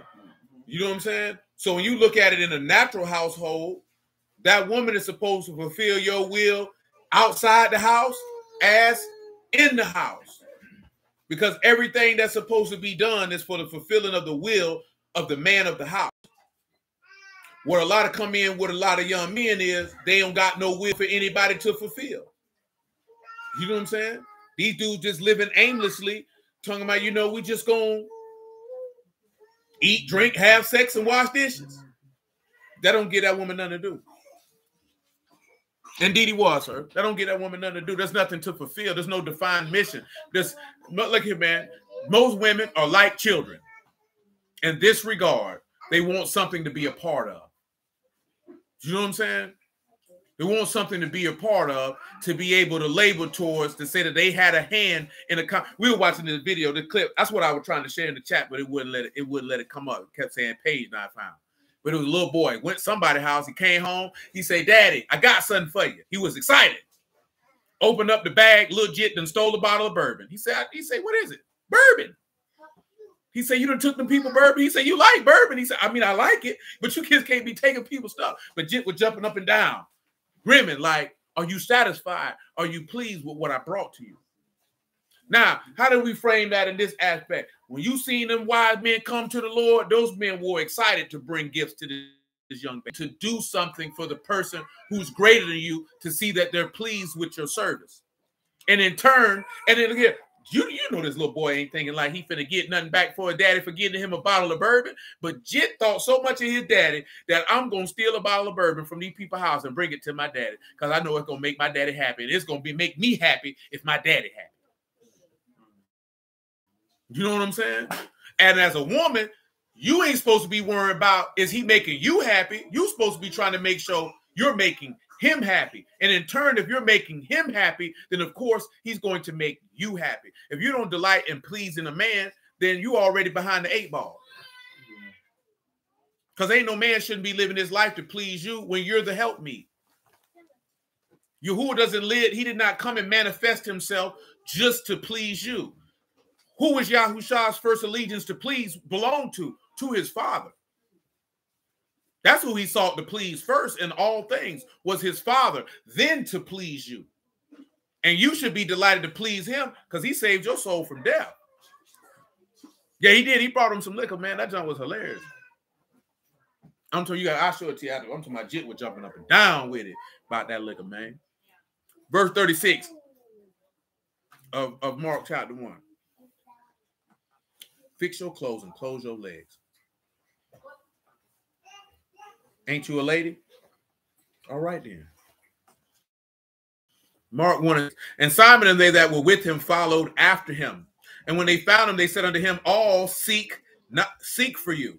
And he said unto them, Let us go into the next towns that I may preach there also. Therefore came I forth. And he preached in their synagogues and throughout Galilee and cast out devils. Now, I said, before we get to the back end, can any of you look at a time where he prayed? Well, you you're only gonna be able to go to the stake for noontime.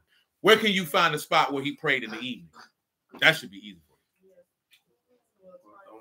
you. That's great. That's one, but I'm saying outside of that, because we don't get to the stake. That is one of them. There's another instance also. I thought when he went to the garden after the Passover. Yes, that's Matthew 26 that she referring to. Oh. But you also have John 17. That was in the evening.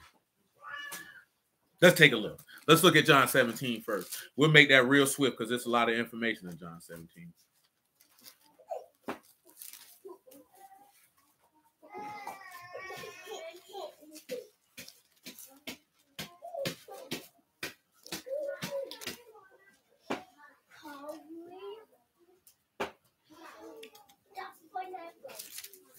Because I put it to you this way for the context of how this works. Back up a little bit just so you can see the chapters. We're not going to read none out of chapter. Back up to 13.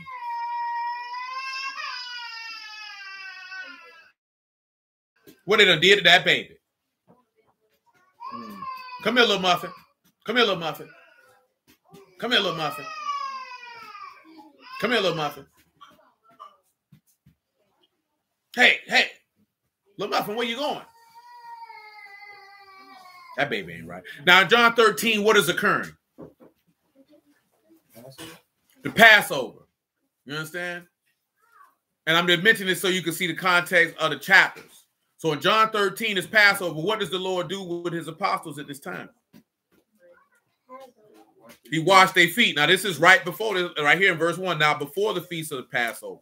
So then when we come to ch- chapter 14, chapter 15, chapter 16, all of this is conversations that he is having with them at the Passover. This is what's not contained. These conversations are not in Matthew, Mark, Luke, and John. You're actually seeing what he is teaching them before it is time for him to offer himself. When you see chapters 13, 14, 15, and 16, You seeing what he was teaching them before he was prepared to offer himself. When you get to 17, this is probably along with what he prayed in Matthew 26, which you read when he asked for the cup to pass. Because it say he prayed three times. Now let's look at just some of the elements of what he prayed for. Of course, y'all already know. First half, what he prayed for was for his apostles. Verses 1 through 19 ain't got nothing to do with us. I didn't want y'all to know that. Verses 1 through 19, he's not praying for anybody in this room. He ain't praying for nobody who wasn't a part of them 12 who was sitting down there with him that particular evening. He wasn't praying for nobody but them. That's it. When you get to verse 20, that's when he begins. That's when all us get to come into play. And then that is the biggest part of the prayer because that's when he asked for you to be a card with his father. Because see, them apostles, they was already good. They was already set. They was already saved. They was already delivered. That's what the boys say. Paul don't know. He ain't walk with Jesus. You niggas is dumb. That's how you know dudes don't even know what an apostle is. You know what I'm saying? Oh, he didn't walk with him. You still to this day, we didn't talk about it many times. People still think it was only them 12 men that walked with the Lord. There's 120 men walked with that man. You know what I'm saying? Because that's where they got Matthias from.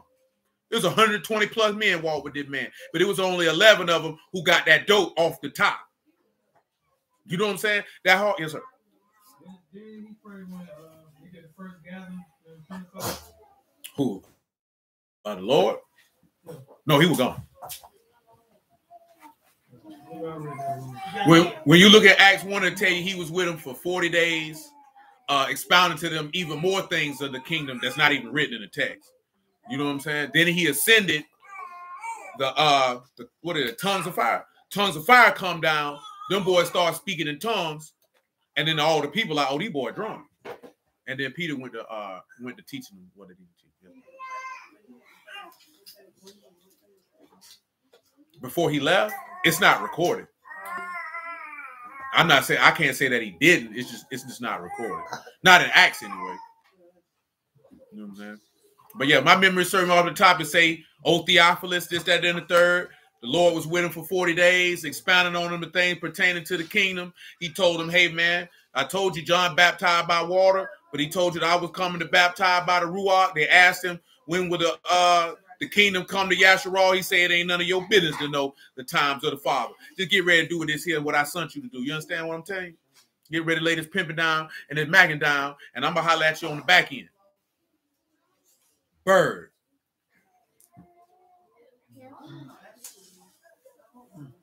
My money at? Is in my is in my other pack. It's in my wallet. It's in Mm. my wallet. So when you look at it again, I just want y'all to understand that. Verses 1 to 19 ain't got nothing to do with us. 20 say, Neither I pray for these alone, but for them which should believe on me through their word. And that's where you come in at. Because look at what he asked for disciples to keep them, I've given them the word. I pray that you should not take them out of the world, but the- he about to send them to do a task. How would that even pertain to us? Guess what he said? I manifested my word, your word to them, and they have received it. He didn't manifest that to any of us.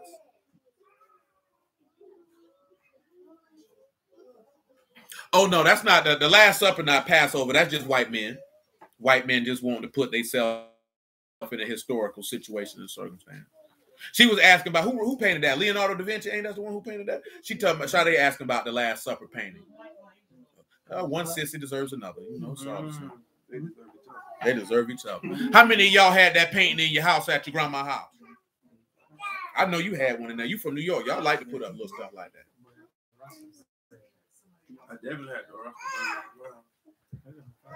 Mm, so y'all finna walk around here and say none of y'all grandma had Caesar Borgia in your house. Like, ain't never seen. And let me tell you something, man. It's more black people got that white man hanging on their wall than any white people that I've never seen in my life. That's right. I ain't, I ain't, been, I, I've been in a lot of white people house, boy. I ain't never seen no white people hanging on the wall except they were Catholic. It's more niggas with white Jesus tattoo. Now them Catholics, People with white Jesus tattoo. Look here, right? When we do trash outs, we don't throw away Bibles. We throw away all crosses, idols, pictures of, of Caesar Borgia, all that go in the trash. ASAP. This place is cursed and damned. Um, I Brazil.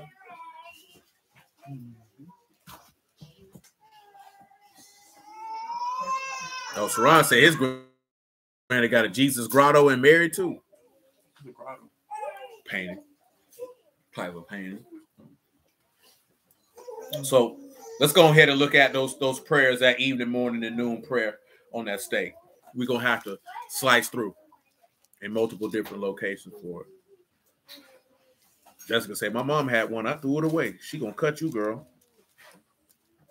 Mm-mm. Let me make sure over here. I don't think it's no prayers of the Lord. Let's start right here, right? Matthew 27. You can pick it up at 40. Uh, 38, I guess. You all right, boy?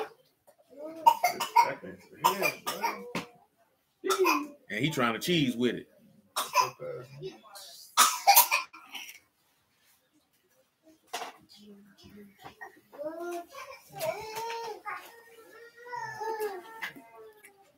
That boy don't want that. That boy won't free.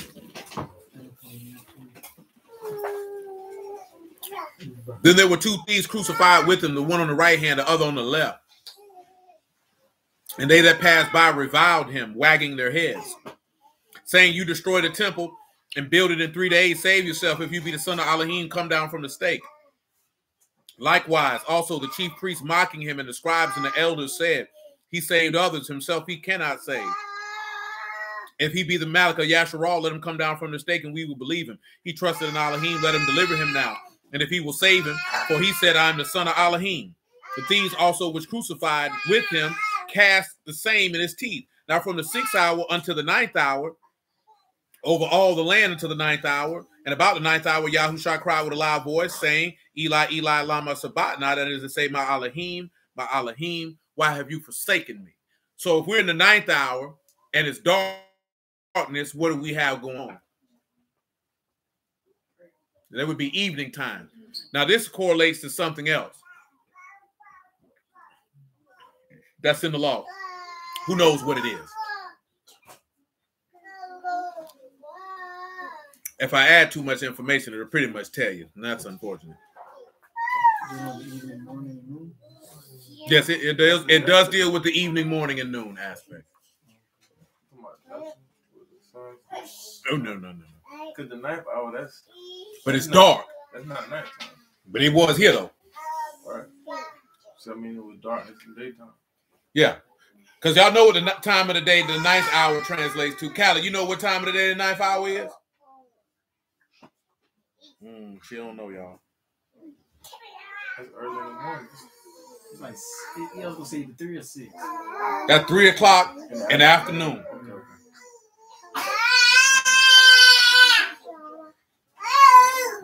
The, the sixth hour is noon. Because that's when you deal with the aspect of why all these boys be going to my. It's only 12 hours in. That's where that come from. Because that's how they counted it. They didn't count time at night. They did have a night watch. I ain't gonna say that. I'm incorrect. They had a night watch, calculated at the same time, because they could still calculate time by the moon, because the moon moved too. Oh, this junk is not plugged up. Um, what you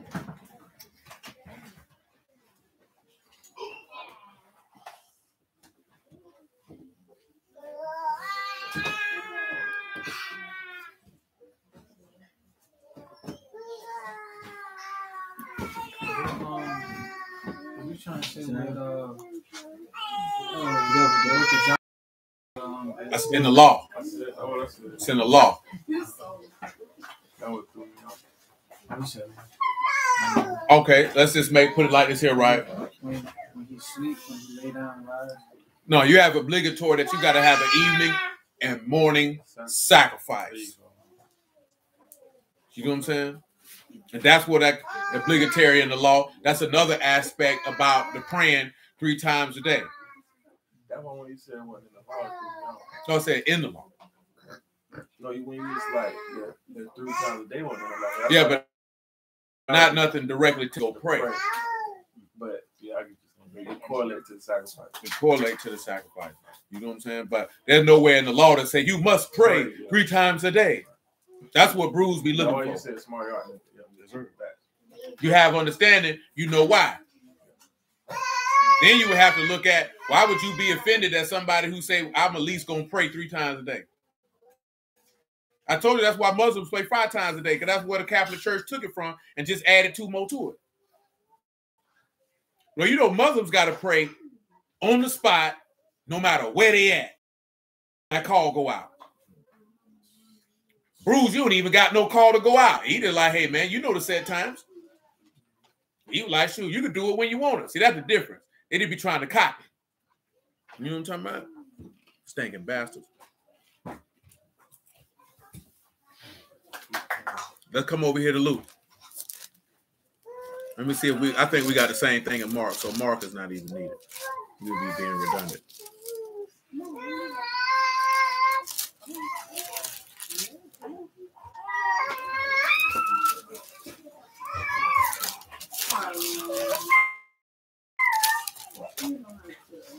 Probably about Luke 23.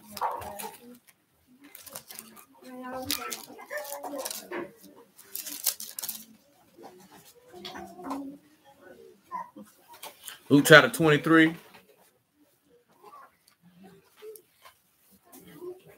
So we don't can't use 26, 27, 28 because he wasn't on the stake yet.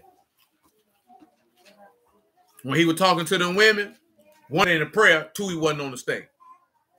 You know what I'm saying? But 23 and 32. And there was two other malefactors led with him to be put to death. And when they would come to the place which is called Calvary, there they crucified him. The malefactors, the one on the right hand and the other on the left, and then said, Yahushua, Abba, forgive them, for they know not what they do. And they parted his raiment and cast lots. Out of evening, morning, and noon, what portion of the day is Father forgive them, for they know not what they do?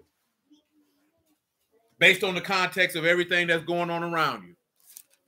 If you want to go back and look at it, pick it up at we really got to pick it up about Matthew 27.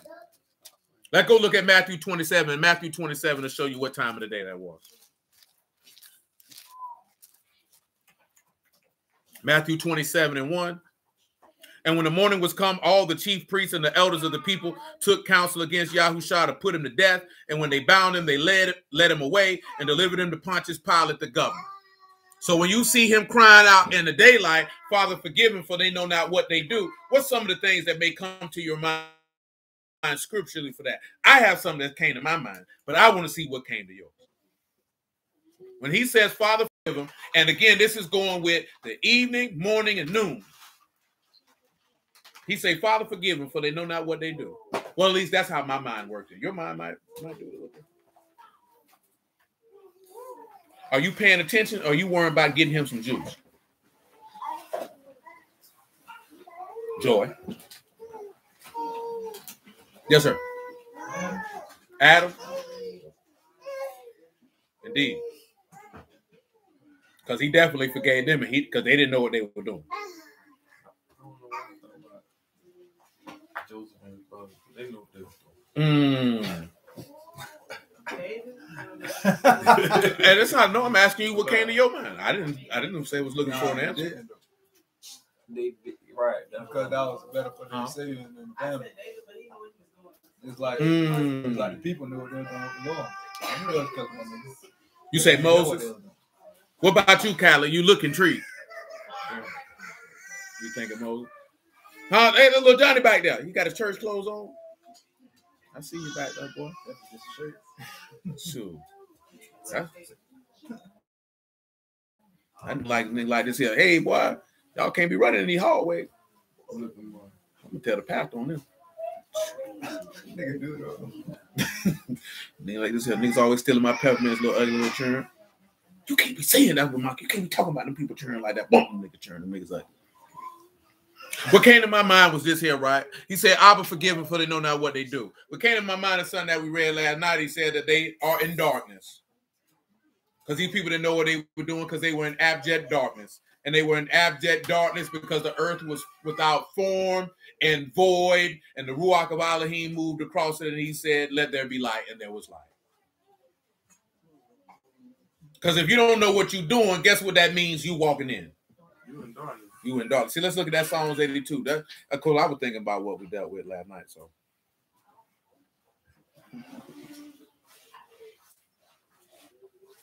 Psalms 82 and 5.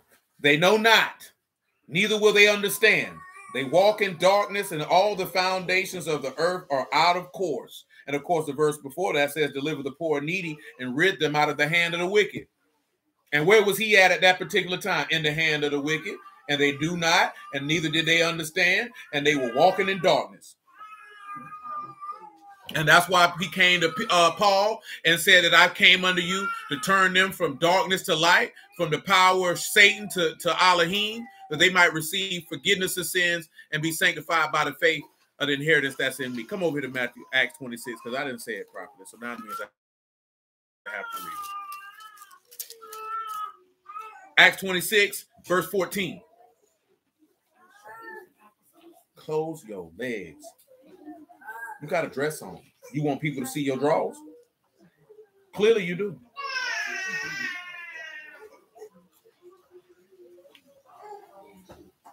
And when they were falling to the earth, I heard a voice, Leave her alone. She can govern herself. And when we were all fallen to the earth, I heard a voice speaking unto me, saying in the Abarim tongue, Saul, Saul, why persecute you me? Is it hard for you to kick against the pricks? And I said, Who are you, Lord? He said, I'm Yahushua, whom you persecute. But rise and stand upon your feet, for I've appeared unto you for this purpose, to make you a minister and a witness both of these things which you have seen and of those things in which I will appear unto you, deliver you from the people and the Gentiles, unto whom now I send you, and to open their eyes, to turn them from darkness to light, from the power of Satan unto Elohim, that they may receive forgiveness of sins and inheritance among them which are sanctified by the faith that is in me. Because remember, I referenced what Paul said if they would have known, they wouldn't have done it. See, let's look at, I mentioned this here last night also. Let's look at what Peter told him in Acts chapter 4, I believe. It might be chapter 3.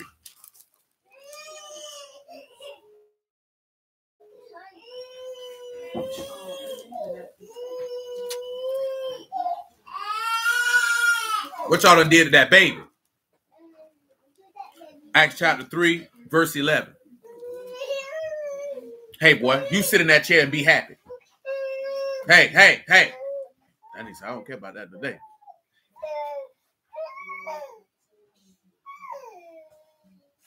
Mm, didn't take much to amuse you. Apples I am now pleased. Acts 3 and 11.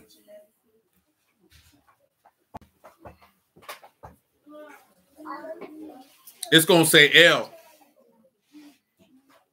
We talked about it last night, uh, what it read and, and what it actually say.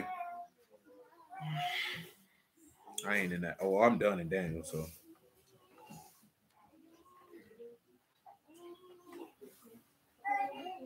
Yeah, it's gonna say El Yon, which means king. Really gonna sit back as son of a king.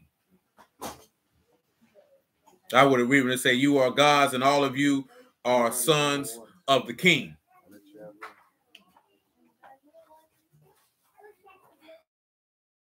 That's how we read language wise. Huh? Acts 3 and 11. And as the lame man which was healed uh, held Peter and John, all the people ran together unto them in the porch that is called Solomon's, greatly wondering. And when Peter saw it, he answered unto the people, You men of Yasharal, why you marvel at this? Or why you look so earnestly on us as though by our own power or Kadash we have made this man to walk? The Elohim of Abraham and of Isaac and of Jacob, the Elohim of our fathers, have esteemed his son, Yahusha, whom you delivered up and denied in the presence of Pilate when he was determined to let him go. But you denied the Kadash one and the just, and desired a murderer to be granted unto you, and killed the Prince of Life, whom Elohim raised from the dead, whereof we are witnesses. And his name, through faith in his name, made this man strong, whom you see and know, yea, the faith which is by him that have given him this perfect soundness and presence of you all. And now, brethren, I walk through ignorance, you did it, as did also your rulers. So when you in ignorance, you in darkness, you don't know where you're going, you don't know what you're doing. You understand? Now, when he say Abba forgiven for they know not what they do, and that's why I mentioned that what came to my mind is what happened in the beginning. Y'all remember what it means for the earth to be without form and void? Let's take a look at it. Genesis 1 and 1, if you would. I remember when you was a baby.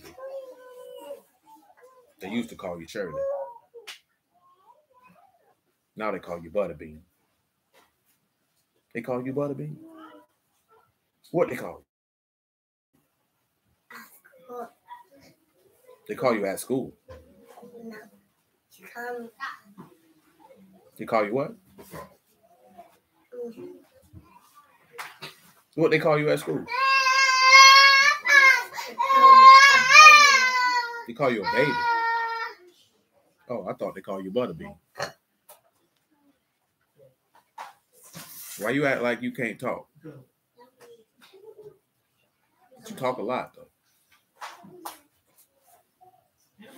Genesis 1 and 1. The beginning, in the beginning, Elohim created the Shamahim and the Arats. And the earth was without form and void, and darkness was upon the face of the deep, and the Ruach of Elohim moved upon the face of the waters. Let's take a look at without form, just to stoke your memory. Tahu, or Tohu, Tau, Hey, and U. And what does it mean by definition? Formlessness, confusion, unreality, emptiness, formlessness, nothingness, that which is empty or unreal, a wasteland, a place of chaos, vanity. Look at this place, right? And again, it shows you that how Elohim is not the author of confusion, because something without form has no order. Therefore, it is full of chaos. If it's full of chaos, that means it has no sin. I mean, it has sin in it, which takes us back to the point why you must be made in the image of the Son and to be like the Most High. Why would Satan want to be in the form of the Most High? And he is the definition of confusion. Come here, Joe. Come on. Come on over. Come, come on, Joe.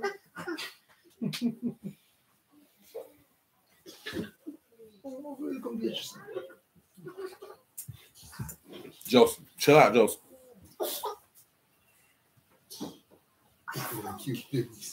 Just look at it. Son doesn't amuse you greatly, huh, Joseph? I don't know. He looking like he on a TV show and he's supposed to be staying in character, but he, but he can't do it. it really made me want to say that because Cut, cut. God was thinking about so they I seen that clip of when Mark Curry was on the Jamie Foxx show and he jumped up there and Jamie Foxx turned his whole back to the camera when he ran up on the dude who played uh Oh, Mr. Google. yeah that boy Tess, he talking about it's a square and he ran over there and, and, and got in that nigga face. That nigga Jamie Foxx turned it was about three four of them turned their face from the camera. And so they can't hold character He probably was. That boy was a fool. But you see that? Now let me ask y'all this here, right? If you're crucifying the son of Elohim, wouldn't you say you'd be full of confusion? Wouldn't they say they'd be empty? But why would they be empty? Because they're not filled with the word. Ain't no light in them. Remember, he say to the law and to the testimony. If they speak not according to this word, it's because there's no light in them. That's Isaiah 8 and 20, by the way, Michael. I know you don't know that. I'm trying to help you out because I'm throwing something out there. I know you don't know off the top. Some of them they didn't. That's a that's a that's a Hebrew special. See, you don't know you don't know the brews online. I'm not being funny. You think I'm being funny? These niggas can tell you. Isaiah 8 and 20. That's a Hebrew special. That's them boy favorite thing to throw at you if you ain't saying something that that they agree with. Come over here, I'll show it to you myself. Acts chapter 8, verse 13. I mean Isaiah chapter 8, verse 13. Yeah, you already know you need to tighten up. You think because you got whatever them tights on that that means you can just sit any kind of way. You're not a boy. You got lady parts. Don't nobody want to see your lady parts. Matter of fact, make it Isaiah 8 and 9. And it still go back to the to the person suffered from the man who was his equal and his acquaintance. And also because we talked about that the week before. Remember when it said it want no changes in them? Y'all remember when it's what that meant? And that Psalms 55? Let me read it for you in case you forgot. This Psalm 55 and 19. Elohim shall hear and afflict them. He, even he that abide of old, say lie, because they have no changes. Therefore, they fear not Elohim. Y'all remember what they have no changes meant?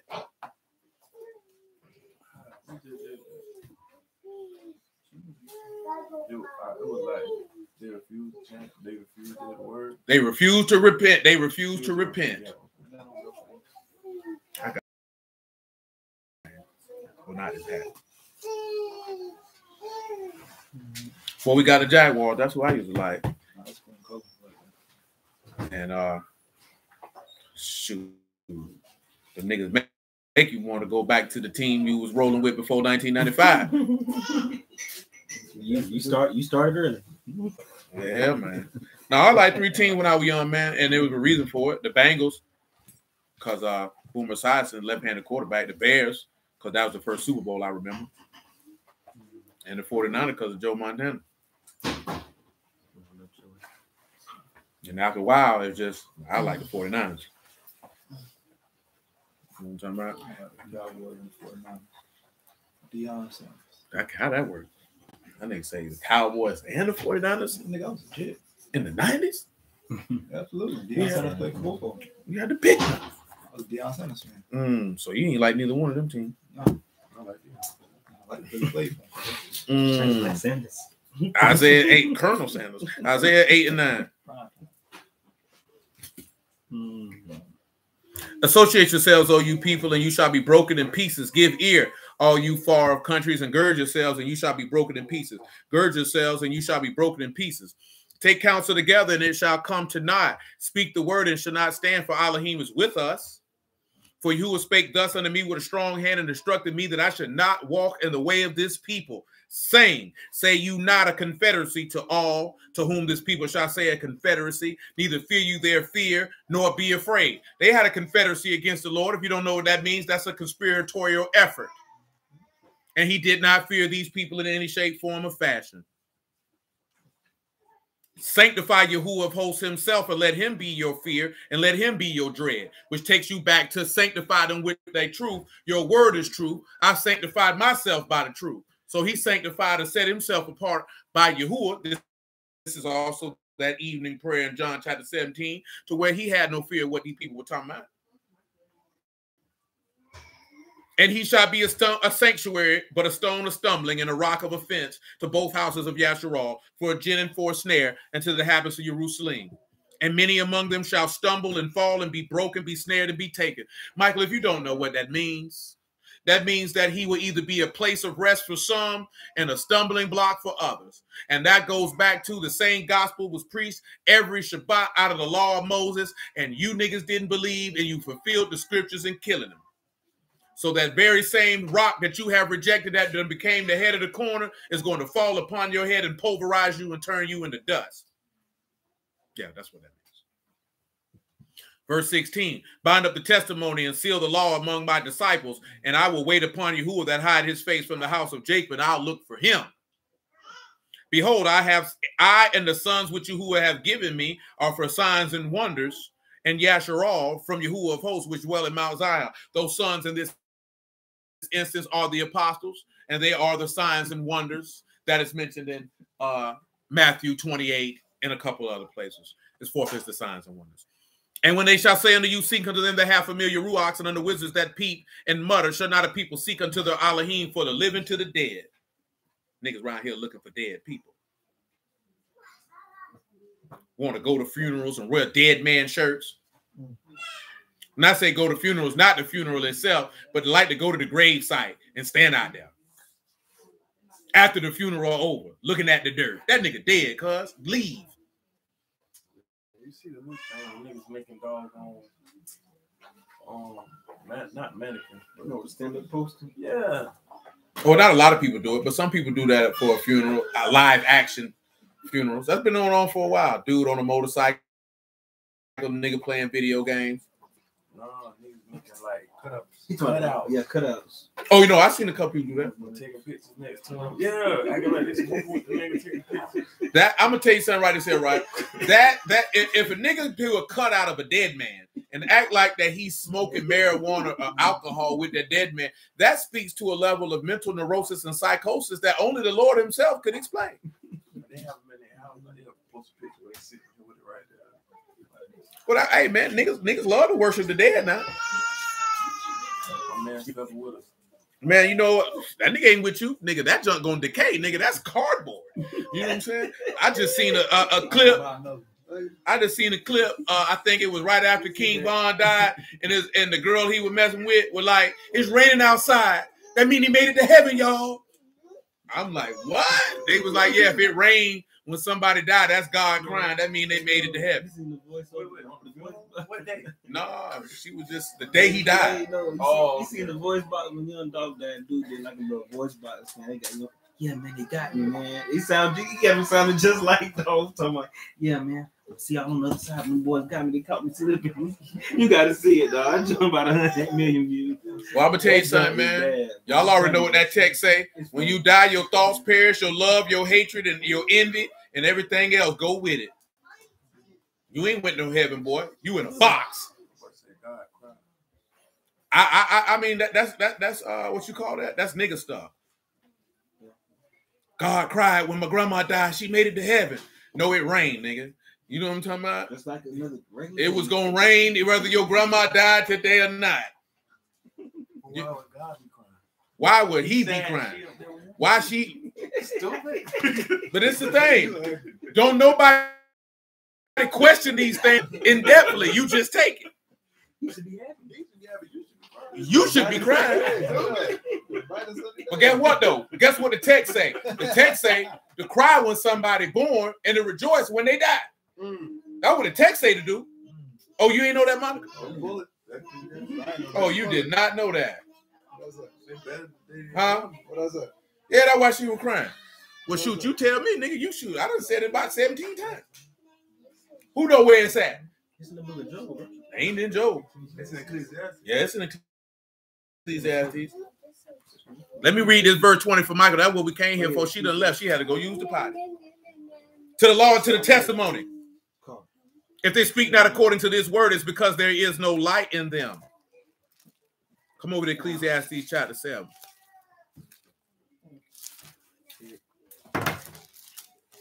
See, Grandma, let me go get my belt. Get my belt The for I you. was thinking about, Job, he said, uh, Go get my belt. I hate the day I was born or something like Oh, you not gonna get my belt? that. Couldn't go before. I need a belt for Grandma and Lizzie and Muffin. What, Grandma, Lizzie, and Muffin. Oh no, she ain't got no fronts. I mean, shoot. I she, I told her we had her back. She better watch her front, but she ain't watching. So then you know what I'm saying? Now she got the lizard mouth. Mm. So I, that's a song y'all know about that song. That means I got your back, but you best to watch your front because it's the niggas who front. They be pulling stunts. Hey, he ain't told you no lie. Ecclesiastes 7 and 1. A good name is better than precious ointment, and the day of death than the day of one's birth. It is better to go to the house of mourning than to go to the house of feasting, for it is the end of all, all men, and the living lay it to his heart. Y'all don't remember what it means? Shayla, you remember what it means? She don't remember what it means. What about you, Lee?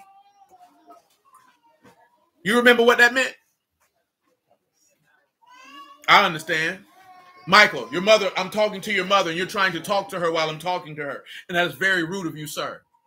Good day to you, sir. How are you? Thank you. Any of you know what that means? Verses one and two. That's all you need. Come on, Grandma, go get that belt. That belt. Because after I whoop you, I got to whoop Lizzie. And after I whoop Lizzie, I got to whoop Muffin. And after I whoop Muffin, I got to whoop Pot. After that, then I got to whoop Joy. Oh, he butt whooping. Whole heat. No. We passing them out like ice cream. Everybody like ice cream. I, I, We tried to get Muffin a job at the circus. They were gonna pay him brownies and ice cream, but she didn't want to go work there. Lizzie, you want to work for brownies and ice cream? You don't want no brownies and ice cream? That's what they pay with. No brownies and ice cream? Oh, y'all don't recall. So that means I got to help you out. Is that what you're telling me? Well, as far as the gospel is concerned, the day of Yahushua's death was better than his birth. What good was his birth? What good was his birth? Number one, it told you a good name is better than precious ointment. Remember what Judas was on? That ointment could have been, he didn't care about that ointment. Yahushua had a good name. Judas didn't. Good name better than that. But you don't realize when the Lord was born, what good did that do in comparison to his death? His death was way more important than his birth. Well, guess what? You dying means absolutely nothing in, in- in- uh, compared to your birth. Because when you born, well, you're going to hell. That's right. I'm talking about literal hell, the grave. First and foremost, you're going to the grave. Off top. We ain't talking about no Hinnom, no Jehoshaphat. Well, you're going to the grave. I mean, you got to get born again. So your initial birth don't relate. Now, if you're born again and you die in Mashiach, guess what? The day of your death was better than the day of your birth. You didn't have Elohim the day you were born. You can have him in the day you die. But gospel-wise, the day of Yahushua's death is greater than his birth. His death redeemed your soul. He's nothing for you. Now, his birth was what allowed him to get to the point that he could be able to die to save your soul. But in comparison to two, the day of his death was better than his birth. Now, that second part is better to go to the house of mourning and the house of feasting. Yahushua looked them people dead in the face, his apostles specifically, and said that I'm exceedingly sorrowful, even unto death. And they said, and the living will, and it is the end of all men, and they don't lay it to heart. And his apostles didn't lay it to heart until he resurrected from the dead. Because they was ready to go into the house of feasting, and he was mourning the whole time. Mm, that's what it said. That's right, uh, Brother Craig. His death brought forth life, which is in Genesis 50. Mm. That's why he cried. And guess what? That go back to the point where we was in Genesis 1. The earth was without form and void. So the earth was with confusion, emptiness, because you know why the people were empty. You ain't had no ruach. What was you filled up on? You ain't had none. Hold on. He said we did without form. Let's look at void because he said and void. And of course, void is bohu, emptiness, void, waste, undistinguishable ruin. And that's the end of the matter. So when he pray, when he in the morning is praying, Abba, forgive them. They know not what they do. They empty. They without form. They're void. They're dwelling in darkness. How would they know? That's why Peter said, if they would have known, he said, I pray out of ignorance you did it, which goes back to what we read in John 9. Yeah, I say, I, I would rather you say I was blind and then your sin be removed. But since you say you'll see, you see, your sin remain because you know what you're doing. You did it in the light. You ain't do it in the dark. That's the significance of that first prayer, and that's why you will hearken to that prayer. And it also harkens to the point of merciful, forgiving thousands of them, or showing mercy to thousands of them that keep his commandments. Let's come back to the book of Luke. Luke 23.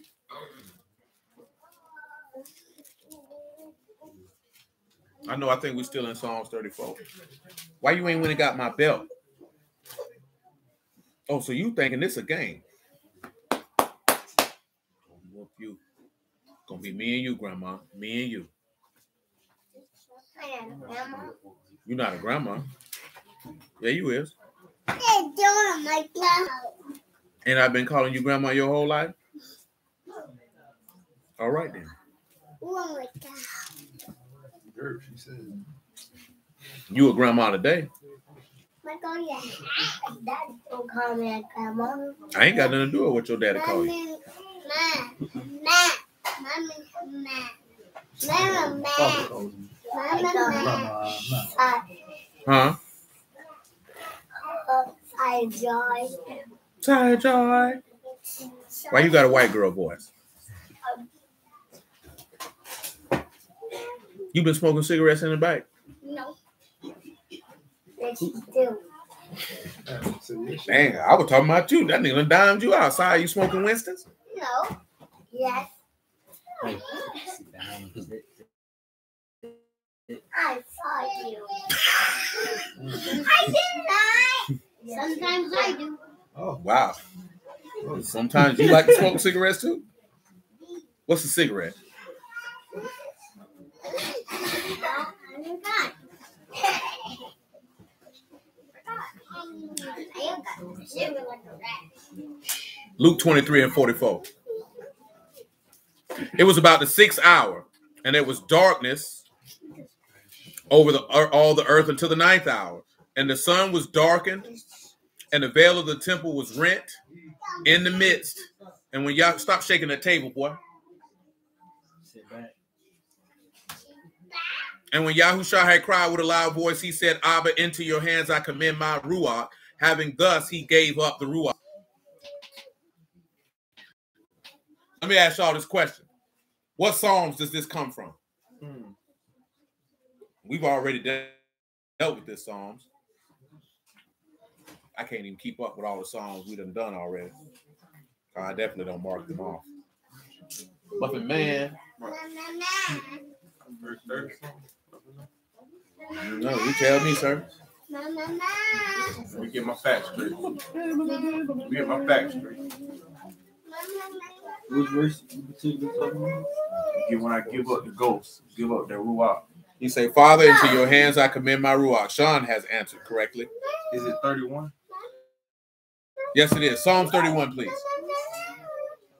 Hey, be quiet For I num num num your butt. Ain't no pausing. You laughing till you in here crying. No. Mm-hmm.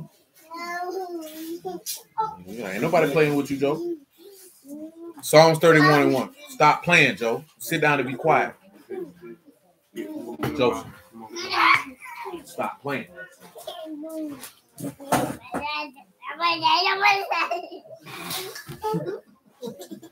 Stop playing. All right.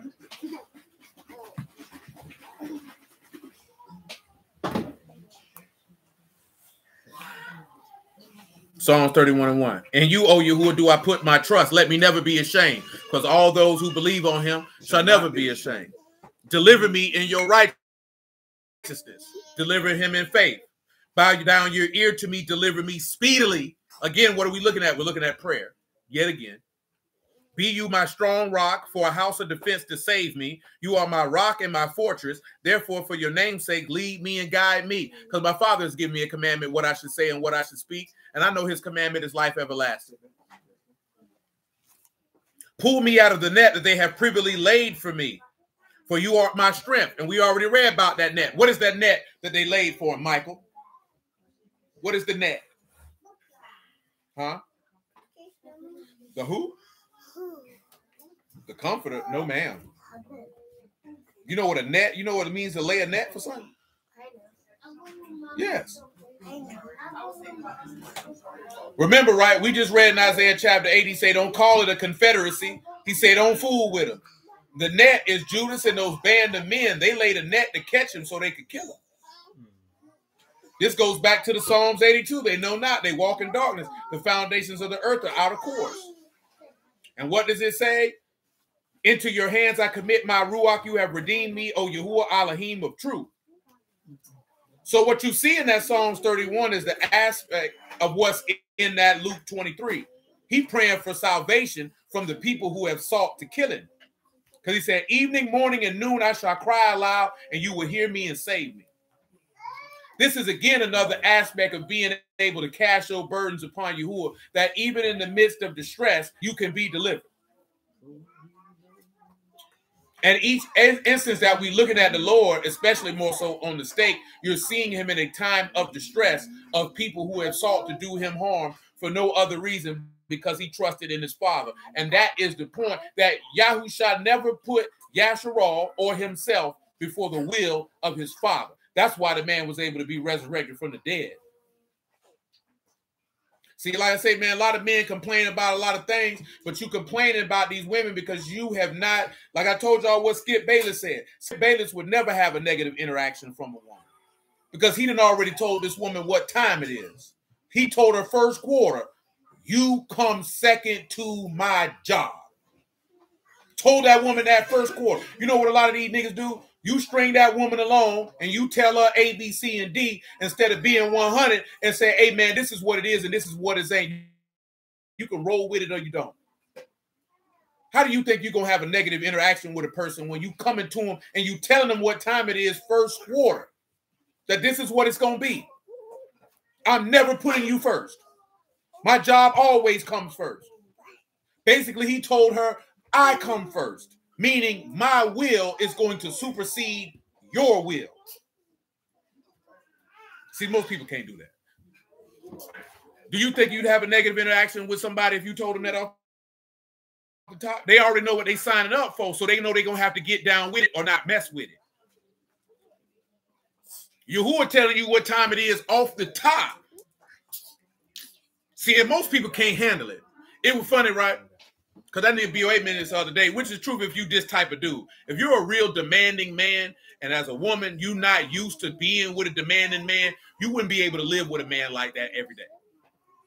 You know what I'm saying? Because the level of demands that he gonna have that you perform, you gonna crumple under that pressure. You wouldn't be able to deal with it. I'm mentioning that because why do you think so many people walk away from the book if they're actually being given the word and ruach and the truth? The level of demand that it's gonna take for you to dwell in Yahuwah's house is too much for some people to take. That's why they dip because it's a demand every day. There's no days off, ain't no chilling, ain't no you could kick your feet up and relax. This man has demands every single solitary day. That's why the mass majority of people can't teach the gospel or deal with it because you're going to want to do what you want to do in your life versus meet the demands that that man requires. That's why this man told you what? Can't put your hand to the plow looking back because he was talking about people who's supposed to be ministering. Y'all do know that, right? In that Luke chapter 9, that wasn't about no regular run of the mill person. Those were people who were supposed to be laboring in the ministry. He said, Man, you got to be able to do this here. You weren't about burying your daddy, going back telling your people you finna dip. Boy, I got work for you to do. He said, No, man, I got to go. Let me at least go do this here. What you care about them for? See, the average person, they can't look at that because that's a demand. Most women ain't never dealt with a man that demanded. Man, I remember watching what it was. Was it Pimp Up Hoes Down or American Pimp? That nigga say one of my hoes came and asked me, could I get Mother's Day off? He said, for what? you know what I'm talking about? He said, for what? Money got to be made. I don't care nothing about that. But I'm mentioning that because most people will be like, you know, it's such and such, and you move with emotion to let a person do this or do that. Man, ain't nobody got time for that. Tight job, bro. That's tight. Hey, stop. You had to shoot. You had to shoot.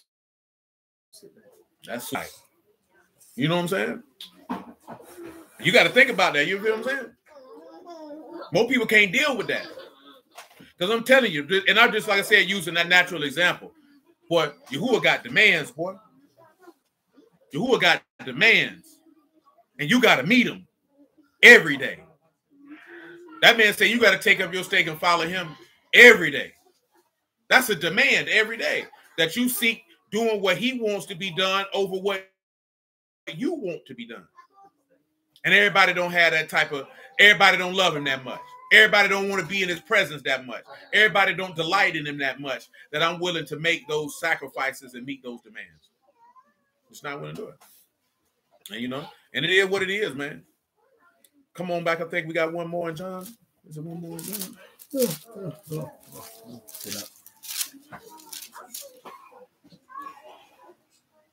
Yeah, John 19 and 28 will do the deal.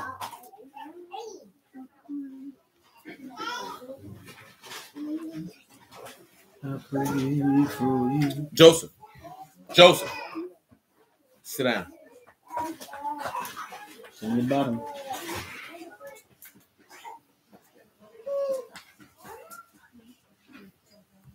John 19, 20, that vessel of full of vinegar, and they filled it with a sponge and vinegar and put it upon the hyssop and put it to his mouth. And when Yah- Yahushua therefore had received the vinegar, he said, It is finished, and he bowed his head and gave up the ruach. Now, y'all know that it is finished. What does the it is finished go to, Michael?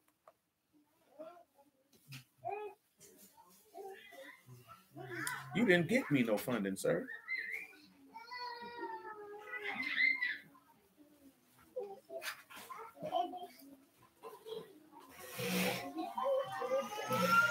Nigga, this nigga got to talk about some funding. That ain't no funding. Oh yeah, yeah, watch out. I ain't gonna lie, they, been- they send me that couple. I ain't never, never got no funding for my life. No, he talking about from that SBA loan. That's not you didn't get no funding. How about some company, Capital. Keep you know. No, that's that dude that did that SBA junk. Now you talking about you, you didn't you didn't fund me with anything. The government did. You didn't do anything when it comes to that. You're just talking. A piece of the pie. Mm, everybody want to say they want a piece of the pie. Sleepy Joe say he want to let you know. What's that? 19 and 20. What does that go to, Michael? It is finished. Do you know? Are you aware? Are you cognizant? What does it go to? Yep.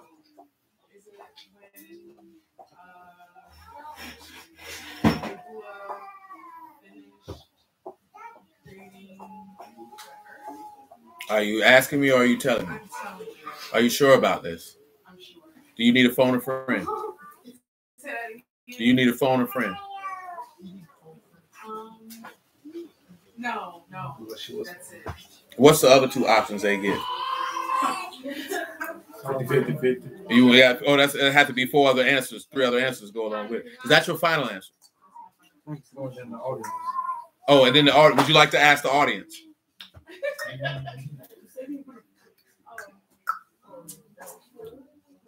I'm just want to make sure you're confident. Would you like to ask the audience, or are you certified in your answer? I? No, ask the audience means ask them what they think the answer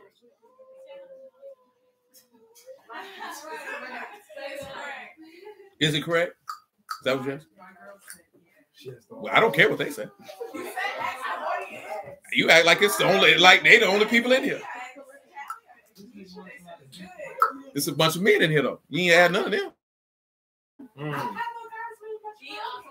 D co-sign that is. Right. It does. Oh, she said it was, That's my I don't know. what it is. That's You know, somebody got it there right there. Monte saying it's good. God said he don't know. He- he- Would you like to put some money on it? Oh. I'm just asking would you like to put a weight on it? I'm trying to see how confident she is.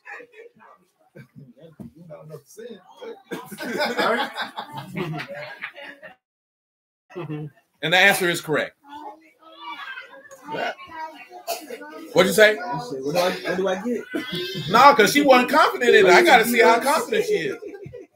'Cause you see, there's a difference, right? Here, and clearly, maybe y'all never do. There's a difference. Somebody asks you a question and you answer it as if you're asking, "Is it correct?" That tells me you're not confident in what you're telling me. Because that's not how you answer a question. Is it? If you say "Is it," that means you're not confident in what you're saying. You don't answer a question by forming your answer in question form. See, y'all may have not ever been told that, but that relays a lack of confidence in in in the, in the answer. I would rather somebody be firm and wrong than to be confused and, and right because then that's going to spill out continually in everything that you do and it will also hamper you to make firm decisions when you need to need to make a firm one because you doing this and doing that is it right should i do it hey you just got to do it and, and, and go with it if it's wrong you correct yourself yeah, it's better to be firm and wrong to be confused and right because you it's just the same as being firm and wrong because when you're confused and right, you go halfway and you end up doing it wrong. And you should have just just be bold in your actions. You know what I'm saying? It's not a big deal, especially something like this. It's not a big deal if it's wrong. But if you if you questioning yourself if something is correct, you would have and the reason the main key point is to know this here. And it may be different because y'all women, when you under pressure.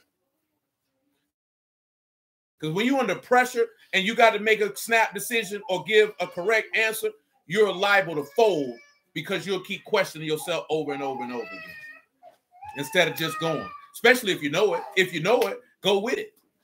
Don't be questioning yourself in your mind. Is it right? Is it wrong? You already know it was right, but you're trying to convince yourself that it's not right. Why would you do yourself that way if you already know that it's correct? Remember, it says that the righteous are what? Bold as a lion. What does that bold mean? It's confidence. Confidence is tied into what you know. When you don't know, then you're not confident. When you're not confident, you have missteps. Oh, that first Kings 19 and 20. Oh, that's that's vastly different. That's vastly different. Hold on. First Kings 9. He asking the difference between the two. That's that's two totally different scenarios.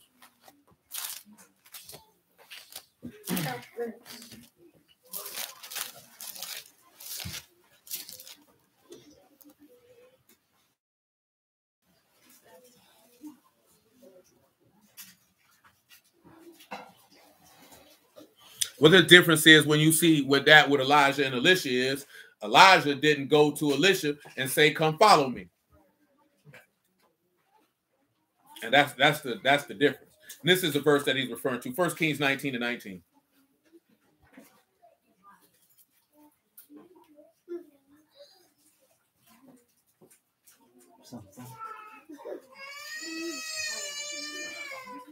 So he departed thence and found Elisha the son of Shaphat, who was plowing with 12 yoke of oxen before him.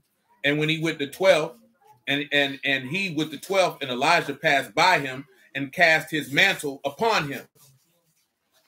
And Elijah left the oxen and ran after Elijah and said, Let me, I pray you, kiss my father and mother, then I will follow you. And he said unto him, Go back again, for what have I done to you? See, this is a different because this is what Luke 9 is rooted in, but there's a difference because Elijah acting like he ain't choose the man. But Elisha knew what time it was. What does that mean when it said he cast his mantle on him? Y'all know what that means? He put his garment on him. That's right. Y'all know what that means? You know what that means to put his garment on him, Michael? You know what that means? Put his let me, let me get the word mantle for you to help you out there.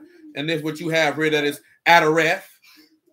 That is glory, cloak, glory, magnificence, mantle, cloak made of fur, fine material, also a prophet's garment.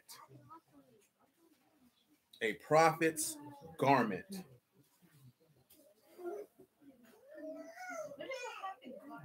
What is a prophet's garment? It's a garment that a prophet wears.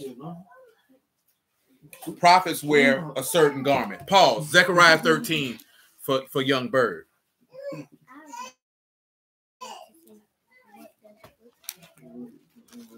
Oh, I can't tell you what it looked like, baby. I look like an artist to you. I look like I draw clothes. I look like I make clothes. No, no. Have a personal folder.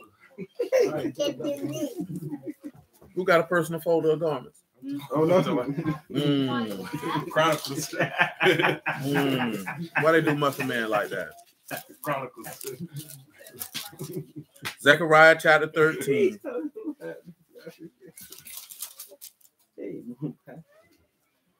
Make sure I'm in the right spot for what I need. Zechariah 13 and 1, if you would.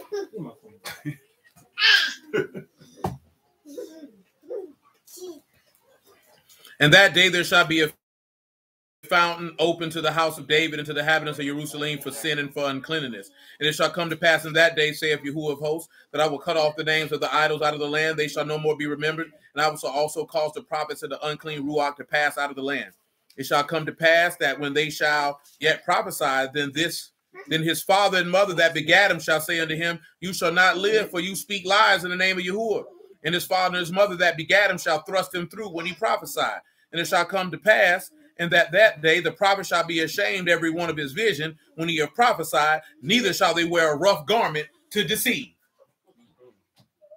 Now, see, notice here, right? Because prophets had a, if you want to say that, a particular garment, they were known. People knew who the prophets was back then. But when he cast his garment on him, also you looking at casting his, his glory or his splendor, his esteem. Now come and look at Luke 9 of what this is referencing. Because like I said, it's the root of Luke 9, but the difference is, like I said, uh Elijah said, What I did to you, bro? What did you what did you coming over here for? Why you act like I did something to you, like you supposed to be following me. Go and do what you got to do. Now, when you come to Luke 9 and 57, And it came to pass that as they went in the way of certain, said unto him, Lord, I will follow you wherever you go. Yahushua said unto him, Foxes have holes and birds of the air nest, but the son of Adam have not where to lay his head. He said unto another, Follow me. But he said, Lord, stop pushing on the table, boy. Get off the table. And he said unto another, Follow me. But he said, Lord, suffer me first to go bury my father and my mother.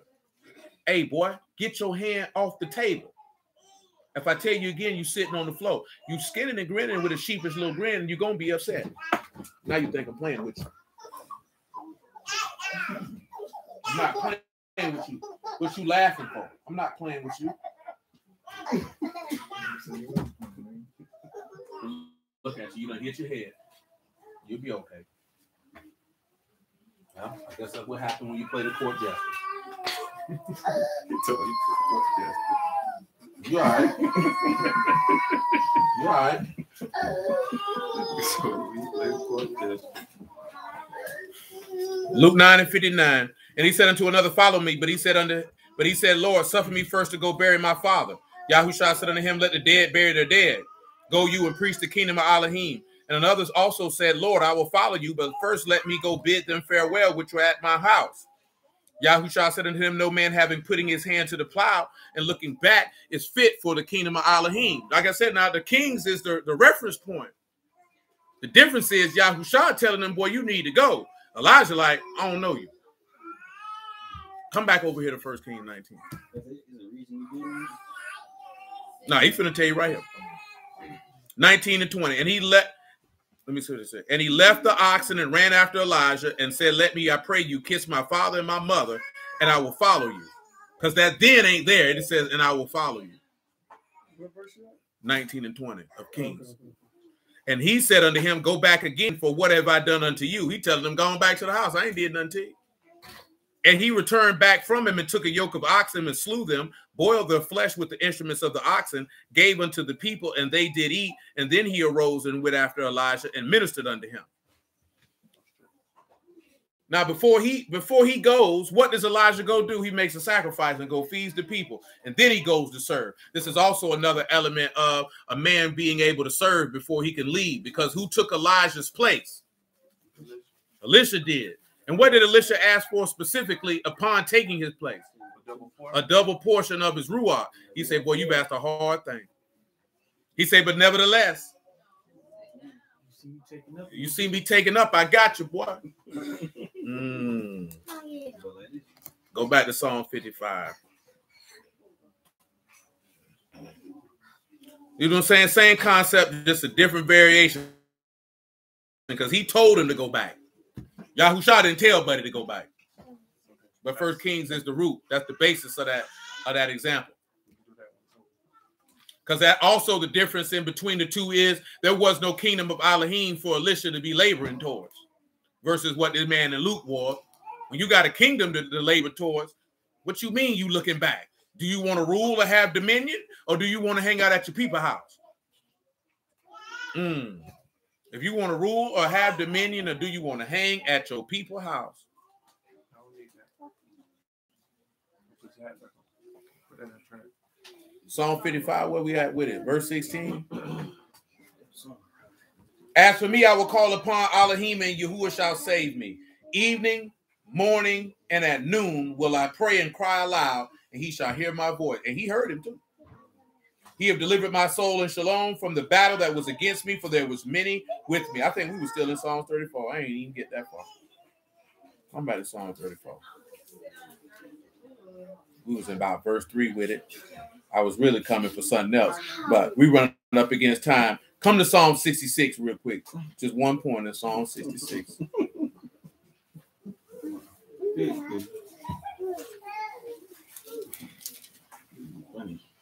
Psalm 66 and 13. 13. I will go into your house with burnt offerings. I will pay my pay you my vows, which my lips have uttered, and my mouth has spoken when I was in trouble. I will offer unto you burnt sacrifices of fatlings with the incense of rams. I will offer bullocks with goats. Selah. Come and hear, all you that fear Elohim, and I will declare what he have done for my soul. I cried unto him with my mouth and was extolled with my tongue. If I regard iniquity in my heart, the Lord will not hear. Now I want you to just sit back and look at what he means. Yes, sir. What he means when he say regard. First thing with regard is ra'ah. What is ra'ah? That is to see, to look at, to inspect, to perceive. If you look at or perceive iniquity in your heart, of course, you know what heart is. Iniquity is aven, and of course, that is trouble, wickedness, or, or the trouble of iniquity or idolatry. So if you regard wickedness or idolatry, it said Yahuwah is not going to hear. And of course, here is Shema, and that is to hear. We we never read John 15. I guess we'll get that in a second. He say, But truly Elohim have heard, he have attended to the voice of my prayer. Baruch be Elohim, which have not turned away my prayer, nor his mercy for me. When we look at attended, that is kashab, that is to hear, to be attentive, or to be inclined. Remember what the Lord said? He said, Abba, I know you hear me always. His ears are always open unto his prayer. That Psalms 34 was going to reference that as well, that his ears are always open to the requests of the righteous. Yahuwah's ears is all, and that's my point. What I'm talking about on the natural. If a woman does her job in serving her husband, his ears should always be open to her request. If you're not doing your job, why would you expect this man to honor and grant you anything? And doing your job ain't cooking and cleaning. Because that's just regular life stuff. Because if you ain't had no man, you still have to cook and clean, I would hope. Guess what? I I, I wager, right? Because I'd have been around a few. There's a lot of women, if they ain't had no man in that house, they wouldn't clean. Not regularly. You know what I'm talking about? Not regularly, because they, they would see no need to it. Like I told you, they'll keep it clean for guests. Let it. You know what I'm talking about? But you talking about every day on point? I didn't see too many of them. No. Drawers, clothes, strong shoes, dishes in the sink. Mm, not blunt guts on the on the on the cabinet. Not on the camera, on the coffee table. on the coffee table. You know what I'm saying? All that. Cause we know you don't know. See, you don't want to see you don't want to see no woman's house when she know when when you know when she know you coming. You know what I'm talking about? Yeah, you got to do the pop up. You know what I'm saying? You got to do the DCF home visit. Hold on, hold on, hold on. Come in the front room. Mm, you got to do the DCF home visit. Have to visit get your kids took right there, mom.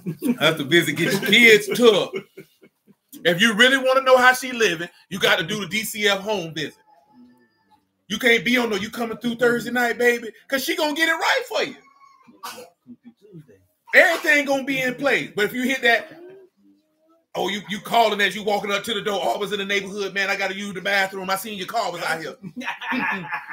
That's the cap. You gotta come with the cap. I gotta use. The, I gotta do. Other nigga jumping through the window. Oh no, you don't come around here. That nigga said a wellness check. Next thing you know, it's a nigga running out the back. Booty cheeks flat. What's going on? I was the handyman. Why he ran out the window? He left the branch. He was doing it. You know what I'm saying? He left his work belt. Somebody left his He fell out the window. He fell. No, all jokes aside, though, if you want to see how that woman lived, you got to pull up unannounced. Because I've been to when we were young, man, and boys to be like, yeah, man, I went to this chick house, man, and her vagina was stink. I said, that's a horrible woman because she knew you were coming.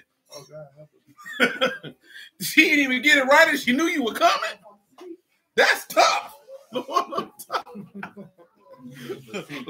what's going on here? You know what I'm saying? That's the same thing. If you was going to a lady house and her house wasn't clean and she knew you she was coming, oh, she don't care.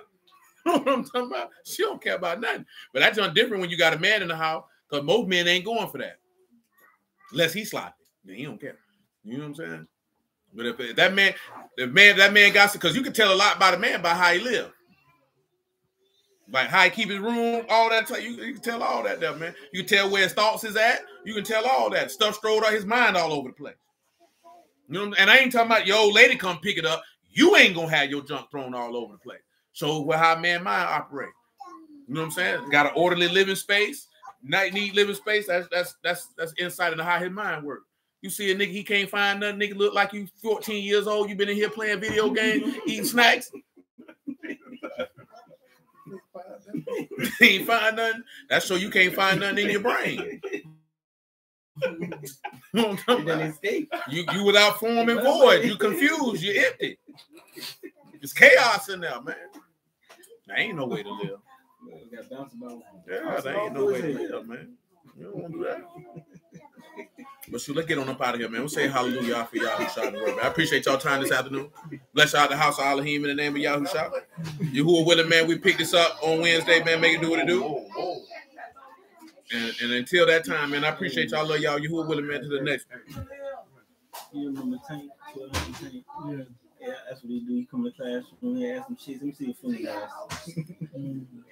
the fingernails dirty. He's dirty. Boy, that's stupid.